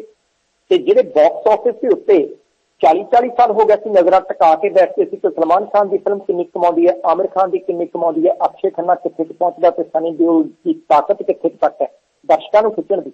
ਉਹ ਕਹਿੰਦੇ ਸੀ ਕਿ ਰਾਮ ਰਹੀਮ ਦੀਆਂ ਬਹੁਤੀਆਂ ਫਿਲਮਾਂ ਫਲॉप ਗਈਆਂ, ਪੱਲੇ ਹੀ ਕੱਖ ਜਦੋਂ 5-500 ਸਕਰੀਨਾਂ ਤੋਂ ਦੂਸਰੇ ਜਾਂ ਤੀਸਰੇ ਦਿਨ ਫਿਲਮ ਉੱਤਰਦੀ ਹੈ, ਤਾਂ ਕੱਲੇ ਹਰਿਆਣੇ ਦੇ ਵਿੱਚ ਜਾਂ ਕੱਲੇ ਸਿਰਸੇ ਦੇ ਵਿੱਚ ਉਹ ਫਿਲਮਾਂ ਨੇ ਕਮਾਈ ਥੋੜੀ ਕਰਨੀ ਹੁੰਦੀ ਹੈ। ਪਰ ਇਹਦੇ ਬਾਵਜੂਦ ਵੀ ਜਦੋਂ ਡੇਰਾ ਮੁਖੀ ਬਾਰ-ਬਾਰ ਕਹਿੰਦਾ ਸੀ ਕਿ ਭਾਈ 200 ਕਰੋੜ ਕਮਾ ਲਿਆ 500 ਕਰੋੜ ਕਮਾ ਲਿਆ 18 ਕਰੋੜ ਹੀ ਲੱਗਾ ਸੀ। ਤੇ ਹੁਣ ਦੋਸ਼ ਵੱਡੇ ਵੱਡੇ ਇਹ ਲੱਗ ਰਹੇ ਨੇ ਕਿ ਨਾ ਤਾਂ ਰਾਮ ਰਹੀਮ ਨੂੰ ਐਕਟਿੰਗ ਆਉਂਦੀ ਸੀ, ਨਾ ਉਹ ਫਿਲਮਾਂ ਦੇ ਵਿੱਚ ਜਾਣ ਦਾ ਬਹੁਤਾ ਜ਼ਿਆਦਾ ਸ਼ਕੀਨ ਸੀ। ਉਹ ਤਾਂ ਕਿਸੇ ਸਿਆਣੇ ਬੰਦੇ ਨੇ ਉਹਦੇ ਕੰਨ ਦੇ ਵਿੱਚ ਫੂਕ ਮਾਰੀ ਹੋਣੀ ਹੈ ਕਿ ਪਾਈਆ ਦੇਖ ਲੈ, ਤੇਰੇ ਕੋਲ ਨੋਟਾਂ ਤੇ ਲੱਗ ਗਏ ਅੰਬਾਰ ਤੇ ਹਿਸਾਬ ਕਿਤਾਬ ਤੇਰੇ ਤੋਂ ਦਿੱਤਾ ਨਹੀਂ ਜਾਣਾ। ਤੋ ਕੋ ਇਦਾਂ ਦਾ ਜੁਗਾੜ ਲਾ, ਜਿਹਦੇ ਨਾਲ ਕਿ ਸੱਪ ਵੀ ਵੱਜ ਜਾ ਤੇ ਲਾਠੀ ਵੀ ਨਾ ਟੁੱਟੇ। ਤੇ ਉਹਨੂੰ ਕਿਸ ਨੇ ਕਹਿਤਾ ਕਿ ਭਾਈ ਤੂੰ ਫਿਲਮਾਂ ਬਣਾ ਲਾ। ਉਸ ਬੰਦੇ ਨੇ ਫਿਲਮਾਂ ਬਣਾਉਣੀਆਂ ਸ਼ੁਰੂ ਕੀਤੀਆਂ ਸਿਨੇਮਾ ਹਾਲ ਭਾਵੇਂ ਖਾਲੀ ਰਹੇ ਤੇ ਉਹਨੇ ਅਖਬਾਰਾਂ ਦੇ ਵਿੱਚ ਮੋਟੀਆਂ-ਮੋਟੀਆਂ ਖਬਰਾਂ ਲਵਾ ਦੇਣੀਆਂ ਕਿ ਭਾਈ ਸੁਪਰ ਹਿੱਟ ਜਾਰੀ ਹੈ ਫਿਲਮ ਤੇ ਬਾਅਦ ਵਿੱਚ ਐਲਾਨ ਕਰ ਦੇਣਾ ਕਿ ਰੁਪਈਆ 200 ਕਰੋੜ ਕਮਾ ਲਿਆ 400 ਕਰੋੜ ਕਮਾ ਲਿਆ ਤੇ 500 ਕਰੋੜ ਕਮਾ ਲਿਆ। ਉਹ ਕਹਿਣ ਵਾਲੀ ਤਾਂ ਇਹ ਵੀ ਕਹੀ ਜਾਂਦੀ ਆ ਦੋਸ਼ ਲਾਈ ਜਾਂਦੇ ਆ ਕਿ ਫਿਲਮਾਂ ਦੇ ਰਾਹੀਂ ਅਸਲ ਦੇ ਵਿੱਚ ਹਜ਼ਾਰਾਂ ਕਰੋੜ ਰੁਪਏ ਦੇ ਕਾਲੇ ਧਨ ਨੂੰ ਚਿੱਟੇ ਧਨ ਦੇ ਵਿੱਚ ਜਿਹੜਾ ਉਹ ਗੁਰਮੀਤ ਰਾਮ ਰਹੀਮ ਨੇ ਤਬਦੀਲ ਕੀਤਾ। ਤੇ ਜੇ ਹਜ਼ਾਰਾਂ ਕਰੋੜ ਰੁਪਈਆ ਇਸ ਪੂਰੀ ਭੂਮਿਕਾ ਦੇ ਰਾਹੀਂ ਉਹ ਤਬਦੀਲ ਕਰ ਗਿਆ ਤੇ ਇਹ ਆਪਣੇ ਆਪ ਦੇ ਵਿੱਚ ਭਾਰਤੀ ਅਰਥਚਾਰੇ ਦੇ ਲਈ ਵੀ ਇੱਕ ਸ਼ਰਮ ਦੀ ਗੱਲ ਹੈ। ਕਿਉਂਕਿ ਇੱਕ ਪਾਸੇ ਆਪਾਂ ਕਹਿੰਦੇ ਆ ਕਿ ਕਾਲੇ ਧਨ ਜਿਹੜਾ ਬਾਹਰ ਲਿਆਉਣਾ ਜਿਹਨੇ ਕਾਲਾ ਧਨ ਜਿਹੜਾ ਉਹ ਸਫੈਦ ਕਰਨਾ 60% ਤੱਕ ਜੁਰਮਾਨਾ ਤੇ ਸਾਡੀ ਫੀਸ ਜਮ੍ਹਾਂ ਕਰਾਵੇ। ਤੇ ਦੂਸਰੇ ਪਾਸੇ ਜਦੋਂ ਚਾਰ ਕ ਫਿਲਮਾਂ 2 ਸਾਲਾਂ ਦੇ ਵਿੱਚ ਠਾ ਠਾ ਕਰਕੇ ਜਿਹੜੀਆਂ ਕੋਈ ਬੰਦਾ ਸਿੱਟਦਾ ਕਿ ਉਹਨਾਂ ਦੇ ਆਸਰੇ ਦੇ ਉੱਤੇ ਹਜ਼ਾਰਾਂ ਕਰੋੜ ਰੁਪਈਆ ਜਿਹੜਾ ਕਾਲੇ ਧਨ ਨੂੰ ਚਿੱਟਾ ਧਨ ਕਰ ਜਾਏ ਰੌਲਾ ਤਾਂ ਫਿਰ ਪੈਣਾ ਹੀ ਪੈਣਾ। ਦੂਸਰੇ ਪਾਸੇ ਹੁਣ ਰੌਲਾ ਇਹ ਵੀ ਪੈ ਰਿਹਾ ਹੈ ਕਿ ਅਜੇ ਤੱਕ ਵੀ ਹਰਿਆਣੇ ਦੀ ਸਰਕਾਰ ਨੇ ਫੌਜ ਨੂੰ ਜਾਂ ਹਰਿਆਣੇ ਦੀ ਪੁਲਿਸ ਨੂੰ ਨਿੱਠ ਕੇ ਜਿਹੜੀ ਉਸ ਥਾਂ ਦੀ ਤਲਾਸ਼ੀ ਲੈਣ ਦਾ ਮੌਕਾ ਨਹੀਂ ਦਿੱਤਾ ਤੇ ਹੁਣ ਭਾਵੇਂ ਪੱਤਰਕਾਰ ਛਤਰਪਤੀ ਦੇ ਪੁੱਤਰ ਦੀ ਗੱਲ ਹੋਵੇ, ਭਾਵੇਂ ਉਹ ਹੰਸਰਾਜ ਚੌਹਾਨ ਜਿਹੜੇ ਸਾਧੂ ਨੂੰ ਨਪੁੰਸਕ ਬਣਾਇਆ ਉਹਦੀ ਗੱਲ ਹੋਵੇ, ਭਾਵੇਂ ਗੁਰਦਾਸ ਸਿੰਘ ਟੂਰ ਦੀ ਗੱਲ ਹੋਵੇ, ਇਹਨਾਂ ਸਾਰੇ ਬੰਦਿਆਂ ਨੇ ਠੋਕ ਵਜਾ ਕੇ ਦੋਸ਼ ਇਹ ਲਾਉਣੇ ਸ਼ੁਰੂ ਕਰ ਦਿੱਤੇ ਆ ਕਿ ਭਾਈ ਡੇਰੇ ਦੇ ਬਾਹਰ ਤਾਂ ਪਹਿਰੇ ਲਾਏ ਹੋਏ ਨੇ ਤੇ ਅੰਦਰ ਲਗਾਤਾਰ ਸਬੂਤ ਖਤਮ ਕਰਨ ਦਾ ਮੌਕਾ ਜਿਹੜਾ ਉਹ ਦਿੱਤਾ ਜਾ ਰਿਹਾ। ਤੇ ਸੁਖਨੈਬ ਜੀ ਇੱਕ ਕੈਂਟਰ ਦਾ ਵੀ ਰੌਲਾ ਪੈ ਰਿਹਾ। ਕਿ ਰਾਤ ਨੂੰ ਇੱਕ ਕੈਂਟਰ ਜਿਹੜਾ ਹੈ ਉਹ ਬਿਨਾਂ ਕਿਸੇ ਤਲਾਸ਼ੀ ਰਾਜਸਥਾਨ ਜਾਣ ਦਿੱਤਾ ਗਿਆ ਜਿਹਦੇ ਰਾਹੀਂ ਵੀ ਬਹੁਤ ਸਾਰਾ ਐਸਾ ਮਾਲ ਮੱਤਾ ਜਿਹੜਾ ਉਹ ਸਿਰਸੇ ਦੇ ਡੇਰੇ ਦੇ ਵਿੱਚੋਂ ਬਾਹਰ ਕੱਢ ਦਿੱਤਾ ਗਿਆ ਜੇ ਸਵਾਲ ਮੱਤੇ ਦੇ ਫੜੇ ਜਾਣ ਦੇ ਉੱਤੇ ਬਹੁਤ ਵੱਡੇ ਕੇਸ ਜਿਹੜੇ ਆ ਉਹ ਡੇਰੇ ਦੇ ਪ੍ਰਬੰਧਕਾਂ ਦੇ ਉੱਤੇ ਪੈ ਸਕਦੇ ਸੀ। ਕੱਲ ਤੱਕ ਇਹ ਪਤਾ ਲੱਗਿਆ ਸੀ ਕਿ ਡੇਰਾ ਸਿਰਸਾ ਦੇ ਮੁਖੀ ਰਾਮ ਰਹੀਮ ਨੇ ਜਿਹੜਾ 5-6 ਲੋਕਾਂ ਦੀ ਸੂਚੀ ਦਿੱਤੀ ਹੈ ਕਿ ਜੇਲ੍ਹ ਦੇ ਵਿੱਚ ਮੈਨੂੰ ਇਹ ਮਿਲ ਸਕਦੀ ਹੈ ਕਿ ਉਹਨਾਂ ਦੇ ਵਿੱਚ ਹਨੀਪ੍ਰੀਤ ਦਾ ਨਾਮ ਵੀ ਹੈ, ਪਰ ਅੱਜ ਲੋਕਲ ਨੋਟਿਸ ਜਿਹੜਾ ਹਨੀਪ੍ਰੀਤ ਇਨਸਾ ਦੇ ਲਈ ਜਾਰੀ ਹੋਣ ਤੋਂ ਬਾਅਦ, ਦੇਸ਼ ਧਰੋਹ ਦਾ ਪਰਚਾ ਦਰਜ ਹੋਣ ਤੋਂ ਬਾਅਦ ਇਹ ਪਤਾ ਲੱਗਿਆ ਕਿ ਅਸਲ ਦੇ ਵਿੱਚ ਡੇਰਾ ਮੁਖੀ ਨੇ ਆਪਣੀ ਮਾਤਾ, ਦੋਵਾਂ ਧੀਆਂ ਤੇ ਤੀਸਰੇ ਪਾਸੇ ਆਪਣੇ ਪੁੱਤ ਤੇ ਚੌਥਾ ਜਿਹੜਾ ਪੰਜਾਬ ਦਾ ਇੱਕ ਸਿਆਸਤਦਾਨ, ਉਹਨਾਂ ਦਾ ਰਿਸ਼ਤੇਦਾਰ ਹੈ ਤੇ ਸਾਬਕਾ ਵਿਧਾਇਕ ਹੈ ਉਹਨੂੰ ਵੀ ਜਿਹੜਾ ਕਹਿ ਦਿੱਤਾ ਕਿ ਭਾਈ ਤੂੰ ਮੈਨੂੰ ਆ ਕੇ ਜੇਲ੍ਹ ਦੇ ਵਿੱਚ ਮਿਲ ਸਕਦਾ ਤੇ ਵੇਖਦੇ ਆ ਕਿ ਇਹ ਮੁਲਾਕਾਤ ਕਿਹੋ ਜੀ ਹੁੰਦੀ ਹੈ ਤੇ ਮੁਲਾਕਾਤ ਤੋਂ ਬਾਅਦ ਡੇਰੇ ਦੇ ਮੁਖੀ ਦੇ ਬਾਰੇ ਫੈਸਲਾ ਕੀਤਾ ਕੀ ਜਾਂਦਾ ਜੀ। ਉਧਰੋਂ ਡੇਰੇ ਵਾਲੇ ਆਪਦਾ ਪੱਖ ਅਖਬਾਰ ਦੇ ਰਾਹੀਂ ਦੇ ਰਹੇ ਆ ਜੀ ਕਿ ਨਾ ਤਾਂ ਉਹ ਆਲੀਸ਼ਾਨ ਬਿਲਡਿੰਗ ਬਾਬਾ ਜੀ ਨੇ ਬਣਾਈ ਹੈ ਤੇ ਨਾ ਹੀ ਕੁਝ ਹੋਰ ਹੈ। ਇਹ ਤਾਂ ਸੰਗਤ ਨੇ ਆਪਦੀ ਸ਼ਰਧਾ ਦੇ ਨਾਲ ਬਣਾਤੀ। ਗੁਫਾ ਦੀ ਗੱਲ ਵੀ ਉਹ ਐਂ ਜੀ ਕਰੀ ਜਾਂਦੇ WhatsApp ਕਿ ਇਹ ਤਾਂ ਸੰਗਤ ਦੀ ਇੱਛਾ ਸੀ। ਗੁਫਾ ਦੇ ਵਿੱਚ ਜੋ ਕੁਝ ਹੁੰਦਾ ਪਤਾ ਨਹੀਂ, ਉਹ ਵੀ ਸੰਗਤ ਦੀ ਇੱਛਾ ਸੀ ਜਿਹੜੀ ਗਰੀਬ ਦੀ ਗੱਲ ਹੈ ਕਿ ਬਹੁਤੀ ਸੰਗਤ ਜਿਹੜੀ ਹੈ ਉਹ ਅਜੇ ਤੱਕ ਇਹ ਕਹੀ ਜਾਂਦੀ ਹੈ ਕਿ ਭਾਈ ਜਿਹੜੇ ਸਾਡੇ ਪਿਤਾ ਜੀ ਨੇ ਉਹਨਾਂ ਨੂੰ ਧੱਕੇ ਨਾਲ ਧੋਖੇ ਨਾਲ ਫਸਾਇਆ ਗਿਆ। ਉਹ ਭਾਈ ਹੁਣ ਅਸਲ ਦੇ ਵਿੱਚ ਮਸਲਾ ਇਹ ਨਹੀਂ ਹੈ ਕਿ ਮੱਛੀ ਪੱਥਰ ਚੱਟ ਕੇ ਮੁੜੇ ਤਾਂ ਉਹਨੂੰ ਪਤਾ ਲੱਗਣਾ ਚਾਹੀਦਾ ਹੁਣ ਜਿਹੜੀਆਂ ਬੀਬੀਆਂ ਦੇ ਨਾਲ ਇੰਨੇ ਵੱਡੇ ਵੱਡੇ ਕੰਮ ਹੋ ਗਏ ਜਿਹੜਾ ਹੰਸਰਾਜ ਚੌਹਾਨ ਰੌਲਾ ਪਾਈ ਜਾਂਦਾ ਕਿ ਭਾਈ ਸਾਡੇ ਨਾਲ ਆਹ ਦੇਖੋ ਕੀ ਹੋ ਗਿਆ ਸਾਡਾ ਤਾਂ ਦੁਨਿਆਵੀ ਜੀਵਨ ਹੀ ਇੱਕ ਤਰ੍ਹਾਂ ਦੇ ਨਾਲ ਖਤਮ ਹੋ ਗਿਆ। ਉਹਨਾਂ ਦੇ ਗੱਲ ਨੂੰ ਅਹਿਸਾਸ ਕਰਕੇ ਆਪਣਾ ਅਹਿਸਾਸ ਕਰ ਲਓ। ਠੀਕ ਲੱਗੇ ਦੀ ਉੱਤੇ ਹੱਥ ਖੜੇ, ਫੇਰ ਹੀ ਅਸੀਂ ਪਿੱਛੇ ਨੂੰ ਹੋਈਏ ਤਾਂ ਸਾਨੂੰ ਕਿਸੇ ਨੇ ਸਿਆਣੇ ਨਹੀਂ ਆਖਣਾ। ਜੀ। ਬਿਲਕੁਲ ਇਹ ਵੀ ਗੱਲ ਹੈ ਜੀ। ਔਰ ਨਾਲ ਜਿਹੜੇ ਉੱਥੇ ਗਏ ਹੋਏ ਲੋਕ ਸੀ, ਉਹਨਾਂ ਚੋਂ ਇੱਕ ਗਾਂ ਦੀਆਂ ਟੱਕਰਿਆ ਜੀ ਅੱਜ। ਪਹਿਲਾਂ ਤਾਂ ਕਹਿੰਦਾ, ਭਾਈ, ਮੈਨੂੰ ਦੱਸਿਆ ਹੀ ਨਹੀਂ। ਜਿਹੜੀ 65 ਮੈਂਬਰੀ ਕਮੇਟੀ ਬਣੀ ਹੋਈ ਸੀ ਨਾ ਜੀ 45 ਮੈਂਬਰੀ, ਉਹਨਾਂ ਨੇ ਪਿੰਡੋ ਪਿੰਡੀ ਜਾ ਕੇ ਲੋਕਾਂ ਨੂੰ WhatsApp ਆਖਿਆ ਕਿ ਤੁਸੀਂ ਭਾਈ ਉੱਥੇ ਪਹੁੰਚਣਾ ਹੈ। ਬੰਦੇ ਤਾਂ ਪਹੁੰਚ ਗਏ ਜੀ। ਕਮੇਟੀ ਵਾਲੇ ਆਪ ਗਏ ਨਹੀਂ। ਪਰ ਜਨਾਬ ਜੀ ਇਹ ਵੀ ਗੱਲ ਹੁੰਦੀ ਨਾ ਕਿ ਪਹੁੰਚਣ ਨੂੰ ਕਹਿ ਦਿੱਤਾ ਵਾਪਸ ਕਿਵੇਂ ਆਉਣਾ ਉਹ ਰਾਹ ਨਹੀਂ ਦੱਸਿਆ ਹੋਣਾ ਜਿਹੜਾ ਕੋਈ ਵਾਪਸ ਫਿਰ ਮੁੜ ਕੇ ਪਰੇਡ ਫੌਜ ਵਾਲਿਆਂ ਨੇ ਚੰਗੀ ਕੀਤੀ ਵੀਡੀਓ ਬਥੇਰੀਆਂ ਸਾਹਮਣੇ ਆ ਗਈਆਂ। ਬਿਲਕੁਲ ਜੀ ਉੱਥੇ ਜਿਹੜੇ ਗਏ ਸੀਗੇ ਉਹਨਾਂ ਚੋਂ ਦੱਸਦੇ ਸੀ ਕੁਝ ਕਿ ਨਾੜਾ ਸਾਹਿਬ ਗੁਰਦੁਆਰੇ ਵੀ ਚਲੇ ਗਏ। ਉੱਥੇ ਜਾ ਕੇ ਜਦੋਂ ਉਹਨਾਂ ਨੂੰ ਪਤਾ ਲੱਗਿਆ ਕਿ ਇਹ ਤਾਂ ਪ੍ਰੇਮੀ ਹੈ ਕਹਿੰਦੇ ਨਾਲੇ ਲੰਗਰ ਛਕ ਲਿਆ ਚਲੋ ਚਾਲੇ ਪਾ ਦਿਓ। ਕਹਿੰਦੇ ਨਹੀਂ ਫਿਰ ਤੁਹਾਨੂੰ ਪਤਾ ਸਾਡੇ ਕੋਲ ਛਾਲੇ ਪਾਉਣ ਵਾਲਾ ਸਮਾਨ ਵੀ ਹੈਗਾ। ਖੈਰ ਆਪਾਂ ਚੱਲਦੇ ਹਾਂ ਜੀ ਅਗਲੀ ਖਬਰ ਦੇ ਵੱਲ। ਡੇਰਾ ਸਰਸਾ ਤੇ ਵੋਟਰਾਂ ਦਾ ਪ੍ਰਭਾਵ। ਤੇ ਨਾਲ ਹੀ ਦਾਦੂਵਾਲ ਵੀ ਬਿਆਨ ਦੇਈ ਜਾਂਦਾ ਜੀ ਕਿ ਜੇ ਹਰਮੰਦਰ ਸਿੰਘ ਜੱਸੀ ਹੋਰਾਂ ਨੂੰ ਬਣਾ ਦਿੱਤਾ ਜਾਵੇ ਜੀ ਡੇਰੇ ਦਾ ਪ੍ਰਧਾਨ ਤਾਂ ਕਹਿੰਦੇ ਬਠਿੰਡੇ ਵਾਲੇ ਪਾਸੇ ਬਾਵਾ ਫਾਇਦਾ ਹੋ ਜਾਊ। ਤੁਸੀਂ ਉਹਦਾ ਵਿਰੋਧ ਕਰਨ ਵਾਸਤੇ ਆਏ ਹੋਏ ਹੋ ਜਾਂ ਤੁਸੀਂ ਉਹਦੀ ਹਮਾਇਤ ਕਰਨ ਲੱਗੇ ਹੋਏ ਹੋ? ਸੁਖਨੈਬ ਜੀ ਬੜੀ ਅਜੀਬ ਗਰੀਬ ਦੀ ਗੱਲ ਹੈ ਕਿ ਇੱਕ ਪਾਸੇ ਸੁਖਵੀਰ ਸਿੰਘ ਬਾਦਲ ਨੂੰ ਵੀ ਆਫਰ ਜਿਹੜੀ ਅਸੀਂ ਧਰਨੇ ਦੇ ਘਰ ਵਿੱਚ ਧਰਨੇ ਦੇ ਤੁਸੀਂ ਤੇ ਪਾਈ ਇਹਨਾਂ ਨੂੰ ਬਣਾ ਦਿਓ। ਤੇ ਦੂਸਰੇ ਪਾਸੇ ਹੁਣ ਜੱਸੀ ਸਾਹਿਬ ਦਾ ਨੰਬਰ ਲੱਗਣ ਲੱਗਾ, ਜੱਸੀ ਸਾਹਿਬ ਤੋਂ ਚਲੋ ਬਚਾਅ ਹੋ ਗਿਆ, ਉਦੋਂ ਵਿਧਾਨ ਸਭਾ ਦੀਆਂ ਚੋਣਾਂ ਤੋਂ ਪਹਿਲਾਂ ਧਮਾਕਾ ਜਿਹਾ ਹੋਇਆ ਸੀ ਰੌਲਾ ਰੁਪਾ ਬਹੁਤਾ ਪੈ ਗਿਆ। ਫਿਰ ਵੀ ਬਚਾਅ ਹੋਣਾ ਚਾਹੀਦਾ, ਪੰਜਾਬ 'ਚ ਸ਼ਾਂਤੀ ਬਣੀ ਰਹਿਣੀ ਚਾਹੀਦੀ ਹੈ। ਪਰ ਹੁਣ ਸਭ ਤੋਂ ਵੱਡਾ ਸਵਾਲ ਸੁਖਨੈਬ ਜੀ ਇਹ ਖੜਾ ਹੁੰਦਾ ਕਿ ਕੀ ਡੇਰੇ ਦੀ ਪਕੜ ਅਜੇ ਤੱਕ ਵੀ ਆਪਣੇ ਵੋਟਰਾਂ ਦੇ ਉੱਤੇ ਹੈ? ਆਉਣ ਵਾਲੀਆਂ 2019 ਦੀਆਂ ਲੋਕ ਸਭਾ ਚੋਣਾਂ ਦੇ ਵਿੱਚ ਡੇਰਾ ਸਿਰਸਾ ਦੇ ਨਾਲ ਸੰਬੰਧਿਤ ਪ੍ਰੇਮੀ ਭਾਵੇਂ ਥੋੜੇ ਜਿਹਾ ਘਟ ਜਾਣਗੇ ਕੀ ਉਹਨਾਂ ਡੇਰਾ ਪ੍ਰੇਮੀਆਂ ਨੇ ਹੁਣ ਡੇਰੇ ਦੇ ਕਹਿਣ ਦੇ ਉੱਤੇ ਆਪਣਾ ਵੋਟ ਪਾਉਣ ਦਾ ਫੈਸਲਾ ਕਰਨਾ ਕਿ ਨਹੀਂ ਕਰਨਾ? ਇਹ ਗੱਲ ਤਾਂ ਸੱਚੀ ਹੈ ਕਿ ਨਾ ਤਾਂ ਸਾਰੇ ਪ੍ਰੇਮੀਆਂ ਨੇ ਡੇਰੇ ਨੂੰ ਛੱਡਣਾ ਤੇ ਨਾ ਸਾਰੇ ਪ੍ਰੇਮੀ ਹੁਣ ਡੇਰੇ ਦੇ ਨਾਲ ਰਹਿਣੇ ਆ, ਪਰ ਫਿਰ ਵੀ ਇੱਕ ਚੰਗੀ ਤਕੜੀ ਜਿਹੜੀ ਉਹ ਤਬਾਦ ਹੈ, ਗਿਣਤੀ ਹੈ, ਉਹ ਡੇਰੇ ਦੇ ਨਾਲ ਜੀ ਸੰਬੰਧਿਤ ਰਹੇਗੀ। ਕਿਉਂਕਿ ਹੁਣ ਇੱਕ ਨਵਾਂ ਸ਼ਗੂਫਾ ਇਹ ਛੱਡਿਆ ਜਾ ਰਿਹਾ ਨੇ ਕਿ ਹੁਣ ਆਪਾਂ ਨਵਾਂ ਮੁਖੀ ਨਹੀਂ ਕਿਸੇ ਨੂੰ ਬਣਾਉਣਾ। ਤੇ ਜਿਹੜੇ ਪਿਤਾ ਜੀ ਨੇ ਰਾਮ ਰਹੀਮ ਹੈ, ਉਹ ਹਾਈ ਕੋਰਟ ਤੋਂ ਬਰੀ ਹੋ ਕੇ ਆ ਜਾਣਗੇ, ਜ਼ਮਾਨਤ ਮਿਲ ਜਾਣੀ ਹੈ, ਜੇ ਹਾਈ ਕੋਰਟ ਨੇ ਨਾ ਦਿੱਤੀ ਸੁਪਰੀਮ ਕੋਰਟ ਤੋਂ ਮਿਲ ਜਾਣੀ ਹੈ। ਇਸ ਕਰਕੇ ਲੋਕਾਂ ਨੂੰ ਅਜੇ ਇੱਕ ਲੈਲੀਪੌਪ ਜਿਹਾ ਜਿਹੜਾ ਹੋਰ ਫੜਨ ਦੇ ਲਈ ਮਜਬੂਰ ਕੀਤਾ ਜਾ ਰਿਹਾ ਹੁਣ ਸੁਖਨੈਬ ਜੀ, ਇੱਕ ਗੱਲ ਤਾਂ ਪੱਕੀ ਹੈ ਕਿ ਸਿਆਸੀ ਪਾਰਟੀਆਂ ਡੇਰੇ ਦਾ ਪ੍ਰਭਾਵ ਬਹੁਤ ਵੱਡੀ ਪੱਧਰ ਦੇ ਉੱਤੇ ਕਬੂਲਦੀਆਂ ਰਹੀਆਂ। ਜੇ ਨਾ ਕਬੂਲਦੀਆਂ ਹੁੰਦੀਆਂ, ਤਾਂ ਫਿਰ ਪੰਜਾਬ ਦੀਆਂ ਵਿਧਾਨ ਸਭਾ ਚੋਣਾਂ ਤੋਂ ਪਹਿਲਾਂ ਜਾ ਕੇ ਜਨਤਕ ਤੌਰ ਦੇ ਉੱਤੇ ਕਈ ਸਿਆਸੀ ਲੀਡਰਾਂ ਨੇ ਇਹ ਥੋੜੀ ਸੀ ਕਹਿਣਾ ਕਿ ਭਾਈ ਅਸੀਂ ਤੁਹਾਡੀ ਨਾਮ ਚਰਚਾ ਆਪ ਕਰਾਇਆ ਕਰਾਂਗੇ, ਤੁਸੀਂ ਵੋਟਾਂ ਪਵਾ ਕੇ ਸਰਕਾਰ ਸਾਡੀ ਬਣਾ ਦਿਓ।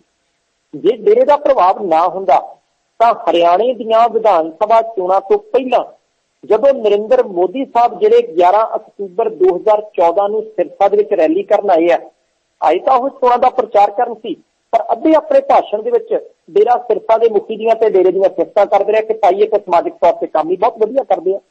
ਇਹ ਡੇਰੇ ਦੇ ਸਿਰਸੇ ਦੇ ਪ੍ਰਭਾਵ ਦਾ ਹੀ ਜਿਹੜਾ ਸਿੱਟਾ ਸੀ ਕਿ ਵੋਟਾਂ ਪੈਣ ਤੋਂ ਪਹਿਲਾਂ ਭਾਰਤੀ ਜਨਤਾ ਪਾਰਟੀ ਦੇ ਸੂਬਾ ਚੋਣ ਇੰਚਾਰਜ ਕੈਲਾਸ਼ ਵਿਜੇ ਵਰਗੀਆ ਜਿਹੜੇ ਆ, ਉਹ ਬੀਜੇਪੀ ਦੇ 44 ਉਮੀਦਵਾਰਾਂ ਨੂੰ ਨਾਲ ਲੈ ਕੇ ਇਸ ਡੇਰੇ ਦੇ ਵਿੱਚ ਆਉਂਦੇ ਆ ਤੇ ਬਾਬਿਆਂ ਨੂੰ ਕਹਿੰਦੇ ਅਸ਼ੀਰਵਾਦ ਦਿਓ ਜੀ, ਤੁਹਾਡੇ ਅਸ਼ੀਰਵਾਦ ਤੋਂ ਬਿਨਾਂ ਤੁਸੀਂ ਕੱਖ ਦੇ ਵੀ ਨਹੀਂ।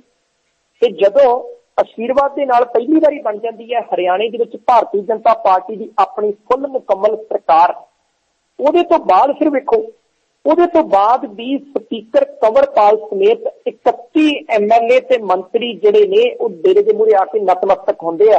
ਤੇ ਜਿਹੜੀ ਰਾਮਬਿਲਾਸ ਸ਼ਰਮਾ ਨੇ ਹਰਿਆਣਾ ਸਰਕਾਰ ਦੇ ਖਜ਼ਾਨੇ ਦੇ ਵਿੱਚੋਂ 51 ਲੱਖ ਰੁਪਏ ਦੀ ਜਿਹੜੀ ਥੈਲੀ 15 ਅਗਸਤ ਨੂੰ ਜਨਮ ਦਿਨ ਵਾਲੇ ਦਿਨ ਦਿੱਤੀ ਆ, ਉਹਦੀਆਂ ਗੱਲਾਂ ਤਾਂ ਬਹੁਤ ਹੋ ਗਈਆਂ। ਭਾਈ ਹਰਿਆਣੇ ਸਰਕਾਰ ਦੇ ਪੈਸੇ ਜਿਹੜੇ ਟੈਕਸ ਦੇ, ਉਹਦੇ ਵਿੱਚ ਕੋਈ ਨਾਸਤਕ ਵੀ ਹੋ ਸਕਦਾ। ਉਹਦੇ ਵਿੱਚ ਕਿਸੇ ਟੈਕਸ ਉਹਦਾ ਵੀ ਹੋ ਸਕਦਾ ਜਿਹੜਾ ਡੇਰਿਆਂ ਦੇ ਨੇੜੇ ਵੀ ਨਹੀਂ ਲੰਘਦਾ।